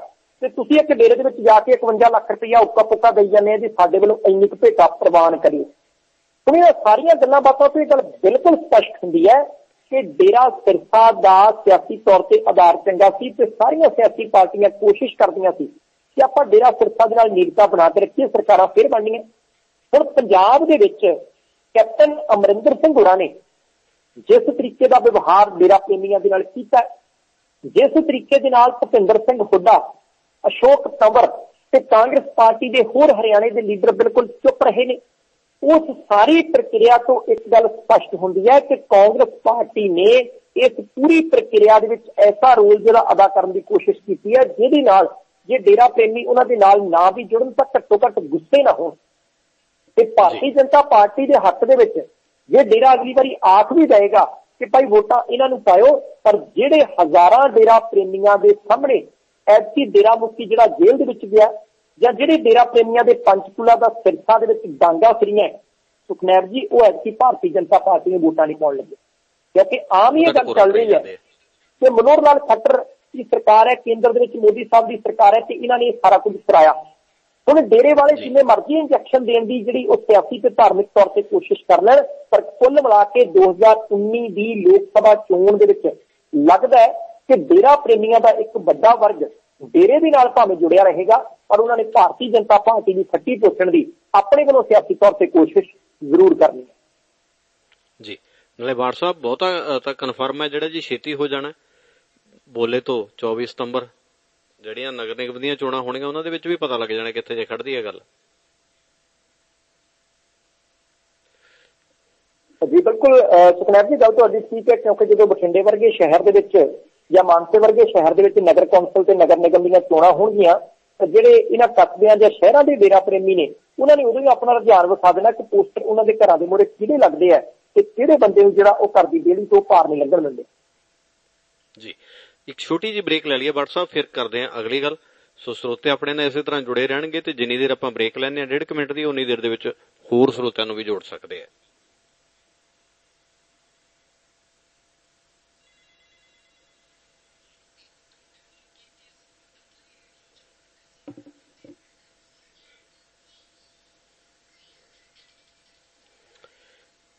ਲਓ ਜੀ, ਇੱਕ ਵਾਰ ਫੇਰ ਸਾਰੇ ਸੱਜਣਾ ਦਾ ਸਵਾਗਤ ਤੇ ਨਾਲ ਨਾਲ ਇੱਕ ਗੱਲ ਹੋਰ ਦੱਸਣਾ ਤੁਹਾਨੂੰ ਜ਼ਰੂਰੀ ਹੈ ਕਿ ਜੇ ਕਿਸੇ ਨੇ ਮੇਰੇ ਨਾਲ ਸਿੱਧੇ ਰੂਪ ਦੇ ਵਿੱਚ ਤਾਲਮੇਲ ਕਰਨਾ ਹੁੰਦਾ ਤਾਂ ਸੁਖਨੈਬ ਸਿੰਘ ਸਿੱਧੂ ਮੇਰਾ ਪੇਜ ਆ, ਉੱਥੇ ਤੁਸੀਂ ਮੈਸੇਜ ਛੱਡ ਦਿਓ। ਉਹਨੂੰ ਪਹਿਲਾਂ ਲਾਈਕ ਦੇ ਉੱਤੇ ਕਲਿੱਕ ਕਰ ਲਓ ਤੇ ਬਾਅਦ ਦੇ ਵਿੱਚ ਤੁਹਾਡੇ ਮੈਸੇਜ ਆ, ਮੈਨੂੰ ਡਿਲੀਵਰ ਹੁੰਦੇ ਰਹਿੰਦੇ ਜੇ ਕੋਈ ਸਵਾਲ ਪੁੱਛਣਾ ਹੁੰਦਾ ਮੈਥੋਂ, ਖਾਸ ਕਰਕੇ ਚੱਲਦੇ ਸ਼ੋਅ ਦੇ ਵਿੱਚ ਤਾਂ ਉੱਥੇ ਪੁੱਛ ਸਕਦੇ ਹੋ ਜਾਂ ਕੋਈ ਇਨਫੋਰਮੇਸ਼ਨ ਹੁੰਦੀ ਉੱਥੇ ਸਾਂਝੀ ਕਰ ਸਕਦੇ ਹੋ। ਜੀ ਭੱਟ ਸਾਹਿਬ ਵਧੀਆ ਅਗਲੀ ਖਬਰ ਦੇ ਵੱਲ ਨੂੰ ਤੇ ਜਸਟਿਸ ਮਹਿਤਾਬ ਸਿੰਘ ਹੁਰਾਂ ਨੇ ਜਾਂਚ ਦਾ ਸਮਾਂ ਵਧਾਉਣ ਦੀ ਮੰਗ ਕਰ ਲਈ ਜੀ। ਸੁਖਨਾਥ ਜੀ ਮਹੱਤਵਪੂਰਨ ਕਮਿਸ਼ਨ ਹੈ ਜੇ ਮਹੱਤਵਪੂਰਨ ਤੇ ਇਮਾਨਦਾਰੀ ਭਰਪੂਰ ਢੰਗ ਦੇ ਨਾਲ ਕੰਮ ਕਰੇ। ਕਿਉਂਕਿ ਪਿਛਲੇ 10 ਸਾਲ ਜਦੋਂ ਅਕਾਲੀ ਦਲ ਤੇ ਭਾਰਤੀ ਜਨਤਾ ਪਾਰਟੀ ਦੀ ਸਰਕਾਰ ਰਹੀ ਸੀ, ਤਾਂ ਕਾਂਗਰਸ ਪਾਰਟੀ ਦੇ ਬਹੁਤ ਸਾਰੇ ਲੀਡਰ ਤੇ ਵਰਕਰ ਬਾਰ-ਬਾਰ ਇਹ ਦੋਸ਼ ਲਾਉਂਦੇ ਸੀ ਕਿ ਅਕਾਲੀ ਭਾਰਤੀ ਜਨਤਾ ਪਾਰਟੀ ਵਾਲੇ ਸਿਆਸੀ ਬਦਲਾਖੋਰੀ ਦੇ ਤਹਿਤ ਕੰਮ ਕਰਦੇ ਆ ਸਾਡੇ ਉੱਤੇ ਝੂਠੇ ਪਰਚੇ ਦਰਜ ਕਰਾਏ ਆ ਤੇ ਉਦੋਂ ਕਾਂਗਰਸੀ ਕਹਿੰਦੇ ਸੀ ਕਿ ਕੋਈ ਗੱਲ ਨਹੀਂ, ਤੁਸੀਂ ਥੋੜਾ ਜਿਹਾ ਸਬਰ ਕਰੋ। ਸਰਕਾਰ ਆਪਣੀ ਆਲਮ ਦੇ ਜਿੰਨੇ ਝੂਠੇ ਪਰਚੇ ਦਰਜ ਕੀਤੇ ਆ, ਸਾਰੇ ਰੱਦ ਕਰਾਵਾਂਗੇ। ਸਰਕਾਰ ਬਣ ਗਈ ਕੈਪਟਨ ਅਮਰਿੰਦਰ ਸਿੰਘ ਹੋਰਾਂ ਨੇ ਜਸਟਿਸ ਮਹਿਤਾਬ ਸਿੰਘ ਗਿੱਲ ਹੋਰਾਂ ਦੇ ਉੱਤੇ ਆਧਾਰਿਤ ਇੱਕ ਕਮਿਸ਼ਨ ਬਣਾ ਦਿੱਤਾ ਕਿ ਤੁਸੀਂ ਪੰਜਾਬ ਦੇ ਲੋਕਾਂ ਤੋਂ ਝੂਠੇ ਮੁਕੱਦਮਿਆਂ ਸੰਬੰਧੀ ਐਪਲੀਕੇਸ਼ਨਾਂ ਪ੍ਰਾਪਤ ਕਰਕੇ ਜਾਂਚ ਕਰੋ। ਚਲੋ ਗਿੱਲ ਸਾਹਿਬ ਨੇ ਐਪਲੀਕੇਸ਼ਨਾਂ ਪ੍ਰਾਪਤ ਕੀਤੀਆਂ, ਪਹਿਲਾਂ 1 ਮਹੀਨੇ ਦਾ ਸਮਾਂ ਦਿੱਤਾ, ਫਿਰ ਲਗਾਤਾਰ ਜਦੋਂ ਅਰਜ਼ੀਆਂ ਆਉਂਦੀਆਂ ਰਹੀਆਂ, ਫਿਰ 2 ਮਹੀਨੇ ਦਾ ਸਮਾਂ ਕਰ ਦਿੱਤਾ। ਇੰਨੀ ਦੇਰ ਦੇ ਵਿੱਚ ਜਿਹੜਾ ਉਹਨਾਂ ਨੂੰ ਸਮਾਂ ਮਿਲਿਆ ਸੀ ਉਹ ਸਮਾਪਤ ਹੋ ਗਿਆ। ਉਹਨਾਂ ਨੇ ਕਪਤਾਨ ਸਾਹਿਬ ਨੂੰ ਕਿਹਾ ਕਿ ਭਾਈ 6 ਮਹੀਨੇ ਦਾ ਸਮਾਂ ਦੇ ਦਿਓ। ਉਹਨਾਂ ਨੇ ਅਕਤੂਬਰ ਤੱਕ ਦਾ ਸਮਾਂ ਹੋਰ ਦੇ ਦਿੱਤਾ। ਤੇ ਹੁਣ 178 ਕੇਸਾਂ ਦੀ ਜਾਂਚ ਪੜਤਾਲ ਉਹਨਾਂ ਨੇ ਕਰ ਲਈ ਜਿਹੜੇ 4200 ਕੇਸ ਉਹਨਾਂ ਦੇ ਕੋਲ ਆਏ। ਉਹਨਾਂ ਦੇ ਵਿੱਚੋਂ 130 ਕੇਸਾਂ ਦੇ ਵਿੱਚ ਮੁਆਵਜ਼ੇ ਦੀ ਸਿਫਾਰਿਸ਼ ਕਰਤੀ ਕਿ ਭਾਈ ਇਹ ਕੇਸ ਝੂਠੇ ਦਰਜ ਕੀਤੇ ਗਏ ਸੀ। ਲੋਕ ਬਹੁਤ ਤੰਗ ਪਰੇਸ਼ਾਨ ਹੋਏ ਨੇ ਤੇ ਇਹਨਾਂ ਨੂੰ ਮੁਆਵਜ਼ਾ ਦਿੱਤਾ ਜਾਵੇ ਤੇ ਪੈਸੇ ਲਏ ਵੀ ਉਹਨਾਂ ਦੇ ਕੋਲੋਂ ਜਾਣ। ਜਿਨ੍ਹਾਂ ਕਰਮਚਾਰੀਆਂ ਨੇ, ਪੁਲਿਸ ਅਧਿਕਾਰੀਆਂ ਨੇ ਝੂਠੇ ਪਰਚੇ ਦਰਜ ਕੀਤੇ ਆ, ਉਹਨਾਂ ਦੇ ਕੋਲੋਂ ਜਾਂ ਜਿਨ੍ਹਾਂ ਨੇ ਕਰਵਾਈ ਨੇ, ਉਹਨਾਂ ਦੇ ਕੋਲੋਂ। ਹੁਣ ਇਹਦੇ ਨਾਲ ਨਾਲ ਜਸਟਿਸ ਮਹਿਤਾਬ ਸਿੰਘ ਗਿੱਲ ਹੋਰਾਂ ਨੇ ਕੈਪਟਨ ਅਮਰਿੰਦਰ ਸਿੰਘ ਤੋਂ ਮੰਗ ਕੀਤੀ ਕਿ ਜਿੰਨੇ ਸਾਡੇ ਕੋਲ ਕੇਸ ਆ ਗਏ ਆ, ਉਹ ਤੈਅ ਸਮੇਂ ਦੇ ਵਿੱਚ ਨਿਬੜਨੇ ਲਈ ਇਸ ਕਰਕੇ ਘੱਟੋ ਘੱਟ 1 ਸਾਲ ਦਾ ਸਮਾਂ ਜਿਹੜਾ ਉਹ ਸਾਨੂੰ ਹੋਰ ਦਿੱਤਾ ਜਾਵੇ। ਅਗਲੇ ਸਾਲ ਭਾਵ 2018 ਦੀ 5 ਅਕਤੂਬਰ ਤੱਕ ਦਾ ਸਾਨੂੰ ਸਮਾਂ ਦਿੱਤੇ ਹੁਣ 2-3 ਦਿਨਾਂ ਦੇ ਵਿੱਚ ਵਿੱਚ ਪੰਜਾਬ ਕੈਬਨਿਟ ਦੀ ਮੀਟਿੰਗ ਹੈ। ਉਮੀਦ ਹੈ ਕਿ ਉਸ ਕੈਬਨਿਟ ਦੀ ਮੀਟਿੰਗ ਦੇ ਵਿੱਚ ਜਸਟਿਸ ਮਹਿਤਾਬ ਸਿੰਘ ਗਿੱਲ ਹੋਰਾਂ ਦੀ ਇਹ ਜਿਹੜੀ ਬੇਨਤੀ ਹੈ ਉਹ ਪ੍ਰਵਾਨ ਕਰ ਲਈ ਜਾਏਗੀ। ਤੇ ਨਾਲ ਦੀ ਨਾਲ ਸਵਾਲ ਥੋੜਾ ਜਿਹਾ ਇਹ ਵੀ ਖੜਦਾ ਹੈ ਕਿ ਕੈਪਟਨ ਸਾਹਿਬ ਦੇ 5 ਮਹੀਨਿਆਂ ਦੇ ਕਾਰਜਕਾਲ ਦੇ ਵਿੱਚ ਵੀ ਕੁਝ ਇੱਕ ਲੋਕਾਂ ਨੇ ਦੋਸ਼ ਲਾਏ ਸੀ। ਜੀ। ਕਿ ਸਾਡੇ ਉੱਤੇ ਵੀ ਝੂਠੇ ਪਰਚੇ ਦਰਜ ਹੋਏ ਆ। ਹੁਣ ਕਈ ਲੋਕਾਂ ਨੇ ਇਹ ਮੰਗ ਕਰਨੀ ਸ਼ੁਰੂ ਕਰ ਦਿੱਤੀ ਹੈ ਕਿ ਪਿਛਲੇ 5 ਮਹੀਨਿਆਂ ਦੇ ਕਾਰਜਕਾਲ ਦੇ ਵਿੱਚ ਜਿਹੜੇ ਝੂਠੇ ਪਰਚੇ ਦਰਜ ਹੋਏ ਨੇ ਉਹਨਾਂ ਨੂੰ ਵੀ ਇਸ ਕਮਿਸ਼ਨ ਦੇ ਅਧੀਨ ਲਿਆਂਦਾ ਜਾਵੇ, ਜੇ ਇਹਨਾਂ ਦੀ ਮਿਆਦ ਵਧਾਉਣੀ ਹੈ ਤਾਂ। ਸੋ ਹੋ ਸਕਦਾ ਹੈ ਕਿ ਨਵੇਂ ਕੇਸ ਵੀ ਜਿਹੜੇ ਹੈ, ਇਸ ਕਮਿਸ਼ਨ ਦੇ ਅਧੀਨ ਆ ਜਾਣ, ਪਰ ਜਿਸ ਰਫਤਾਰ ਦੇ ਨਾਲ ਤੇ ਜਿਸ ਫੀਸਦ ਦੇ ਨਾਲ ਇਹਨਾਂ ਕੇਸਾਂ ਦਾ ਨਿਪਟਾਰਾ ਹੋ ਰਿਹਾ ਤੇ ਕੇਸਾਂ ਦੇ ਨਿਪਟਾਰੇ ਦੇ ਨਾਲ 50% ਤੋਂ ਵੱਧ ਕੇਸ ਝੂਠੇ ਸਾਬਿਤ ਹੋ ਰਹੇ ਨੇ, ਉਹਨੂੰ ਵੇਖਦਿਆਂ ਆ ਸੁਖਨੈਬ ਜੀ ਲੱਗਦਾ ਹੈ ਕਿ ਜਦੋਂ ਸਾਰੇ ਕੇਸਾਂ ਦੀ ਸੁਣਵਾਈ ਮੁਕੰਮਲ ਹੋਣੀ ਹੈ, ਤਾਂ ਉਹ ਸਮਾਂ ਪਿਛਲੇ 10 ਵਰਿਆਂ ਦਾ ਸਮਾਂ ਸ਼ਾਇਦ ਇਸ ਗੱਲ ਦੇ ਲਈ ਯਾਦ ਕੀਤਾ ਜਾਏਗਾ ਕਿ ਪੁਲਿਸ ਪ੍ਰਸ਼ਾਸਨ ਦਾ ਪ੍ਰਯੋਗ ਲੋਕਾਂ ਨੂੰ ਇਨਸਾਫ ਦੇਣ ਦੇ ਲਈ ਘੱਟ ਤੇ ਆਪਣੇ ਸਿਆਸੀ ਮਫਾਦਾਂ ਦੇ ਲਈ ਸ਼ਾਇਦ ਵੱਧ ਕੀਤਾ ਗਿਆ ਸੀ। ਜੀ। ਔਰ ਸਿਹਤ ਵਿਭਾਗ ਦੇ ਕਰੋੜਾਂ ਰੁਪਏ ਦੇ ਬੇਅਰਥ ਇਧਰ ਉਧਰ ਜਾਣ ਦੀਆਂ ਖਬਰਾਂ ਜੀ। ਜੀ ਬੜੀ ਅਜੀਬੋ-ਗਰੀਬ ਦੀ ਗੱਲ ਹੈ ਕਿ ਪੰਜਾਬ ਦਾ ਜਿਹੜਾ ਸਿਹਤ ਵਿਭਾਗ ਹੈ, ਉਹਨੂੰ ਸਭ ਤੋਂ ਪਹਿਲਾਂ ਤਾਂ ਡਾਕਟਰ ਚਾਹੀਦੇ ਨੇ, ਉਹਨਾਂ ਦੇ ਸਹਾਇਕ ਚਾਹੀਦੇ ਨੇ, ਦਵਾਈਆਂ ਚਾਹੀਦੀਆਂ ਤੇ ਨਾਲ ਦੀ ਨਾਲ ਉਹਨਾਂ ਨੂੰ ਚਾਹੀਦੀਆਂ ਨੇ, ਉਹ ਮਸ਼ੀਨਾਂ ਜਿਨ੍ਹਾਂ ਦੇ ਨਾਲ ਲੋਕਾਂ ਦੇ ਟੈਸਟ ਕਰਦੇ ਆ। ਆਪਾਂ ਪਹਿਲਾਂ ਵੀ ਕਈ ਵਾਰ ਰੇਡੀਓ ਚੰਨ ਪ੍ਰਦੇਸ਼ੀ ਦੇ ਸਰੋਤਿਆਂ ਦੇ ਨਾਲ ਇਹ ਗੱਲ ਸਾਂਝੀ ਕੀਤੀ ਹੈ ਕਿ ਪੰਜਾਬ ਦੇ ਵਿੱਚ ਜਦੋਂ ਸਾਡਾ ਵਾਤਾਵਰਣ ਸਾਡੀਆਂ ਖਾਣ ਪੀਣ ਦੀਆਂ ਵਸਤਾਂ ਠੀਕ ਨਹੀਂ, ਉਹ ਚੰਗੀਆਂ ਨਹੀਂ, ਯੋਗ ਨਹੀਂ, ਸਿਹਤਮੰਦ ਕਰ ਨਹੀਂ ਰਹੀਆਂ, ਤਾਂ ਫਿਰ ਬਿਮਾਰੀਆਂ ਲੱਗਣੀਆਂ ਤਾਂ ਘੱਟੋ ਘੱਟ ਸਾਡੇ ਕੋਲ ਸਿਹਤ ਸੇਵਾਵਾਂ ਤਾਂ ਚੰਗੀਆਂ ਹੋਣ। ਪਰ ਹਾਲਾਤ ਸਾਡੀਆਂ ਸਰਕਾਰਾਂ ਦੇ ਬਿਲਕੁਲ ਵੱਖਰੇ ਆ। ਡਾਕਟਰ ਅਸੀਂ ਭਰਤੀ ਨਹੀਂ ਕਰਨੇ। ਲੋਕਾਂ ਨੂੰ ਦਿਖਾਉਣ ਦੇ ਲਈ ਸਰਕਾਰੀ ਹਸਪਤਾਲ ਦੀਆਂ ਬਿਲਡਿੰਗਾਂ ਜਿਹੜੀਆਂ ਉੱਚੀਆਂ ਉੱਚੀਆਂ ਤੇ ਹੋਰ ਉੱਚੀਆਂ ਕਰੀ ਜਾਣੀਆਂ। ਅਸੀਂ ਦਵਾਈਆਂ ਉੱਥੇ ਭੇਜਣੀਆਂ ਨਹੀਂ ਤੇ ਅੰਕੜੇ ਸਾਲਵਾ ਦੇ ਜਾਰੀ ਕਰ ਦੇਣੇ ਆ ਕਿ ਪੰਜਾਬ ਦੀ 55% ਆਬਾਦੀ ਨੇ ਲੰਘੇ ਬਰੇ ਦੇ ਵਿੱਚ ਸਰਕਾਰੀ ਹਸਪਤਾਲਾਂ ਤੋਂ ਸਿਹਤ ਸੇਵਾਵਾਂ ਪ੍ਰਾਪਤ ਕੀਤੀਆਂ। ਜੀ। ਭਾਈ ਇਹਦੇ ਨਾਲ ਤਾਂ ਲੋਕੀ ਫਾਂਡਾ ਕਾਇਮ ਉਹਨਾਂ ਕੀ ਫਾਇਦਾ ਹੁੰਦਾ ਜਿਨ੍ਹਾਂ ਬਿਨਾਂ ਦਵਾਈ ਬਿਨਾਂ ਡਾਕਟਰ ਤੇ ਬਿਨਾਂ ਟੈਸਟ ਤੋਂ ਸਰਕਾਰੀ ਹਸਪਤਾਲ ਹੁੰਦਾ। ਹੁਣ ਜਲੰਧਰ ਸ਼ਹਿਰ ਦੀ ਇੱਕ ਬੜੀ ਅਜੀਬੋ-ਗਰੀਬ ਦੀ ਗੱਲ ਹੈ। ਸ਼ਹਿਰ ਦੇ ਵਿੱਚ ਤਿੰਨ ਸਰਕਾਰੀ ਹਸਪਤਾਲਾਂ ਦਾ ਨਿਰਮਾਣ ਪਿਛਲੇ 5 ਵਰਿਆਂ ਦੇ ਵਿੱਚ ਕੀਤਾ ਗਿਆ। ਤਿੰਨੋਂ ਹਸਪਤਾਲ ਜਿਹੜੇ ਆ, ਉਹ ਸੁਖਨੈਬ ਜੀ 30-30 ਬਿਸਤਰਿਆਂ ਦੇ ਨੇ। ਤਿੰਨੋਂ ਹਸਪਤਾਲਾਂ ਦੇ ਉੱਤੇ 5-5 ਕਰੋੜ ਰੁਪਏ ਬਿਲਡਿੰਗ ਬਣਾਉਣ ਦੇ ਉੱਤੇ ਖਰਚਾ ਆਇਆ। ਤਿੰਨੋਂ ਹਸਪੀਟਲ ਮੁਕੰਮਲ ਨੇ, ਬਣ ਕੇ ਬਿਲਕੁਲ ਤਿਆਰ ਬਰ ਤਿਆਰ ਨੇ। ਬਾਦਲ ਸਾਹਿਬ ਨੇ ਨਹੀਂ ਪੱਥਰ ਰੱਖਿਆ ਸੀ, ਸਾਬਕਾ ਮੁੱਖ ਮੰਤਰੀ ਸਾਹਿਬ ਨੇ। 15 ਕਰੋੜ ਰੁਪਈਆ ਲੱਗ ਗਿਆ। ਪਰ 15 ਕਰੋੜ ਰੁਪਈਆ ਲੱਗ ਕੇ ਜਿਹੜੇ ਤਿੰਨ ਤਿੰਨ ਚਾਰ ਚਾਰ ਮੰਜ਼ਲੀ ਇਹ ਹਸਪੀਟਲ ਤਿੰਨ ਜਲੰਧਰ ਦੇ ਵੱਖ-ਵੱਖ ਕੋਨਿਆਂ ਦੇ ਵਿੱਚ ਬਣਾਏ ਗਏ ਆ। ਉਹਨਾਂ ਤਿੰਨਾਂ ਹਸਪੀਟਲਸ ਦੇ ਵਿੱਚ ਅਜੇ ਤੱਕ ਪੰਜਾਬ ਸਰਕਾਰ ਦੇ ਕੋਲ ਇੱਕ ਵੀ ਡਾਕਟਰ ਭੇਜਣ ਨੂੰ ਹੈ ਅਜੇ ਤੱਕ ਨਾ ਉਹ ਹਸਪੀਟਲ ਚਾਲੂ ਕੀਤੇ ਗਏ ਆ ਨਾ ਉਹਨਾਂ ਦਾ ਉਦਘਾਟਨ ਹੋਇਆ ਨਾ ਹੀ ਪਤਾ ਲੱਗ ਰਿਹਾ ਕਿ ਉਹਨਾਂ ਦਾ ਉਦਘਾਟਨ ਕਦੋਂ ਹੋਣਾ ਹੈ ਡਾਕਟਰ ਉੱਥੇ ਆ ਕੇ ਕਦੋਂ ਬੈਠੇਗਾ ਬਿਮਾਰੀਆਂ ਦੇ ਨਾਲ ਜੂਝ ਰਹੇ ਦੁਆਬੇ ਦੇ ਇਸ ਖਿੱਤੇ ਦੇ ਲੋਕਾਂ ਨੂੰ ਉਹਨਾਂ ਸਰਕਾਰੀ ਹਸਪੀਟਲ ਦੇ ਵਿੱਚ ਸਿਹਤ ਸੇਵਾਵਾਂ ਮਿਲਣਗੀਆਂ ਕਦੋਂ ਜੀ। ਹੁਣ 2016-17 ਦੇ ਵਿੱਚ ਇਹ ਹਸਪੀਟਲ ਬਿਲਕੁਲ ਬਣ ਕੇ ਤਿਆਰ ਸੀ ਸਵਾ ਸਾਲ ਤੋਂ ਉੱਪਰ ਦਾ ਸਮਾਂ ਹੋ ਗਿਆ। ਸੁਰਜੀਤ ਗਿਆਨੀ ਹੋਰਾਂ ਨੂੰ ਜਲੰਧਰ ਦੇ ਪ੍ਰੈਸ ਕਲੱਬ ਦੇ ਵਿੱਚ ਪੱਤਰਕਾਰਾਂ ਨੇ ਕਈ ਵਾਰ ਪੁੱਛਿਆ। ਉਹੀ ਕਹਿੰਦੇ ਸੀ ਕਰਦੇ ਆ ਭਰਤੀ ਲੱਗੇ ਆ ਕਰਨ ਮੇਰੀ ਗੱਲ ਹੋ ਗਈ ਹੈ 15600 ਰੁਪਇਆ ਅਸੀਂ ਦੇਾਂਗੇ ਜਿਹਨੇ ਮਰਜ਼ੀ ਡਾਕਟਰ ਆ ਜਾਣ ਅਸੀਂ ਦੇਣ ਨੂੰ ਤਿਆਰ ਬੈਠੇ ਆ। ਉਹ ਭਾਈ 15600 ਰੁਪਏ ਨਾਲ ਡਾਕਟਰ ਕਿਵੇਂ ਆਏਗਾ?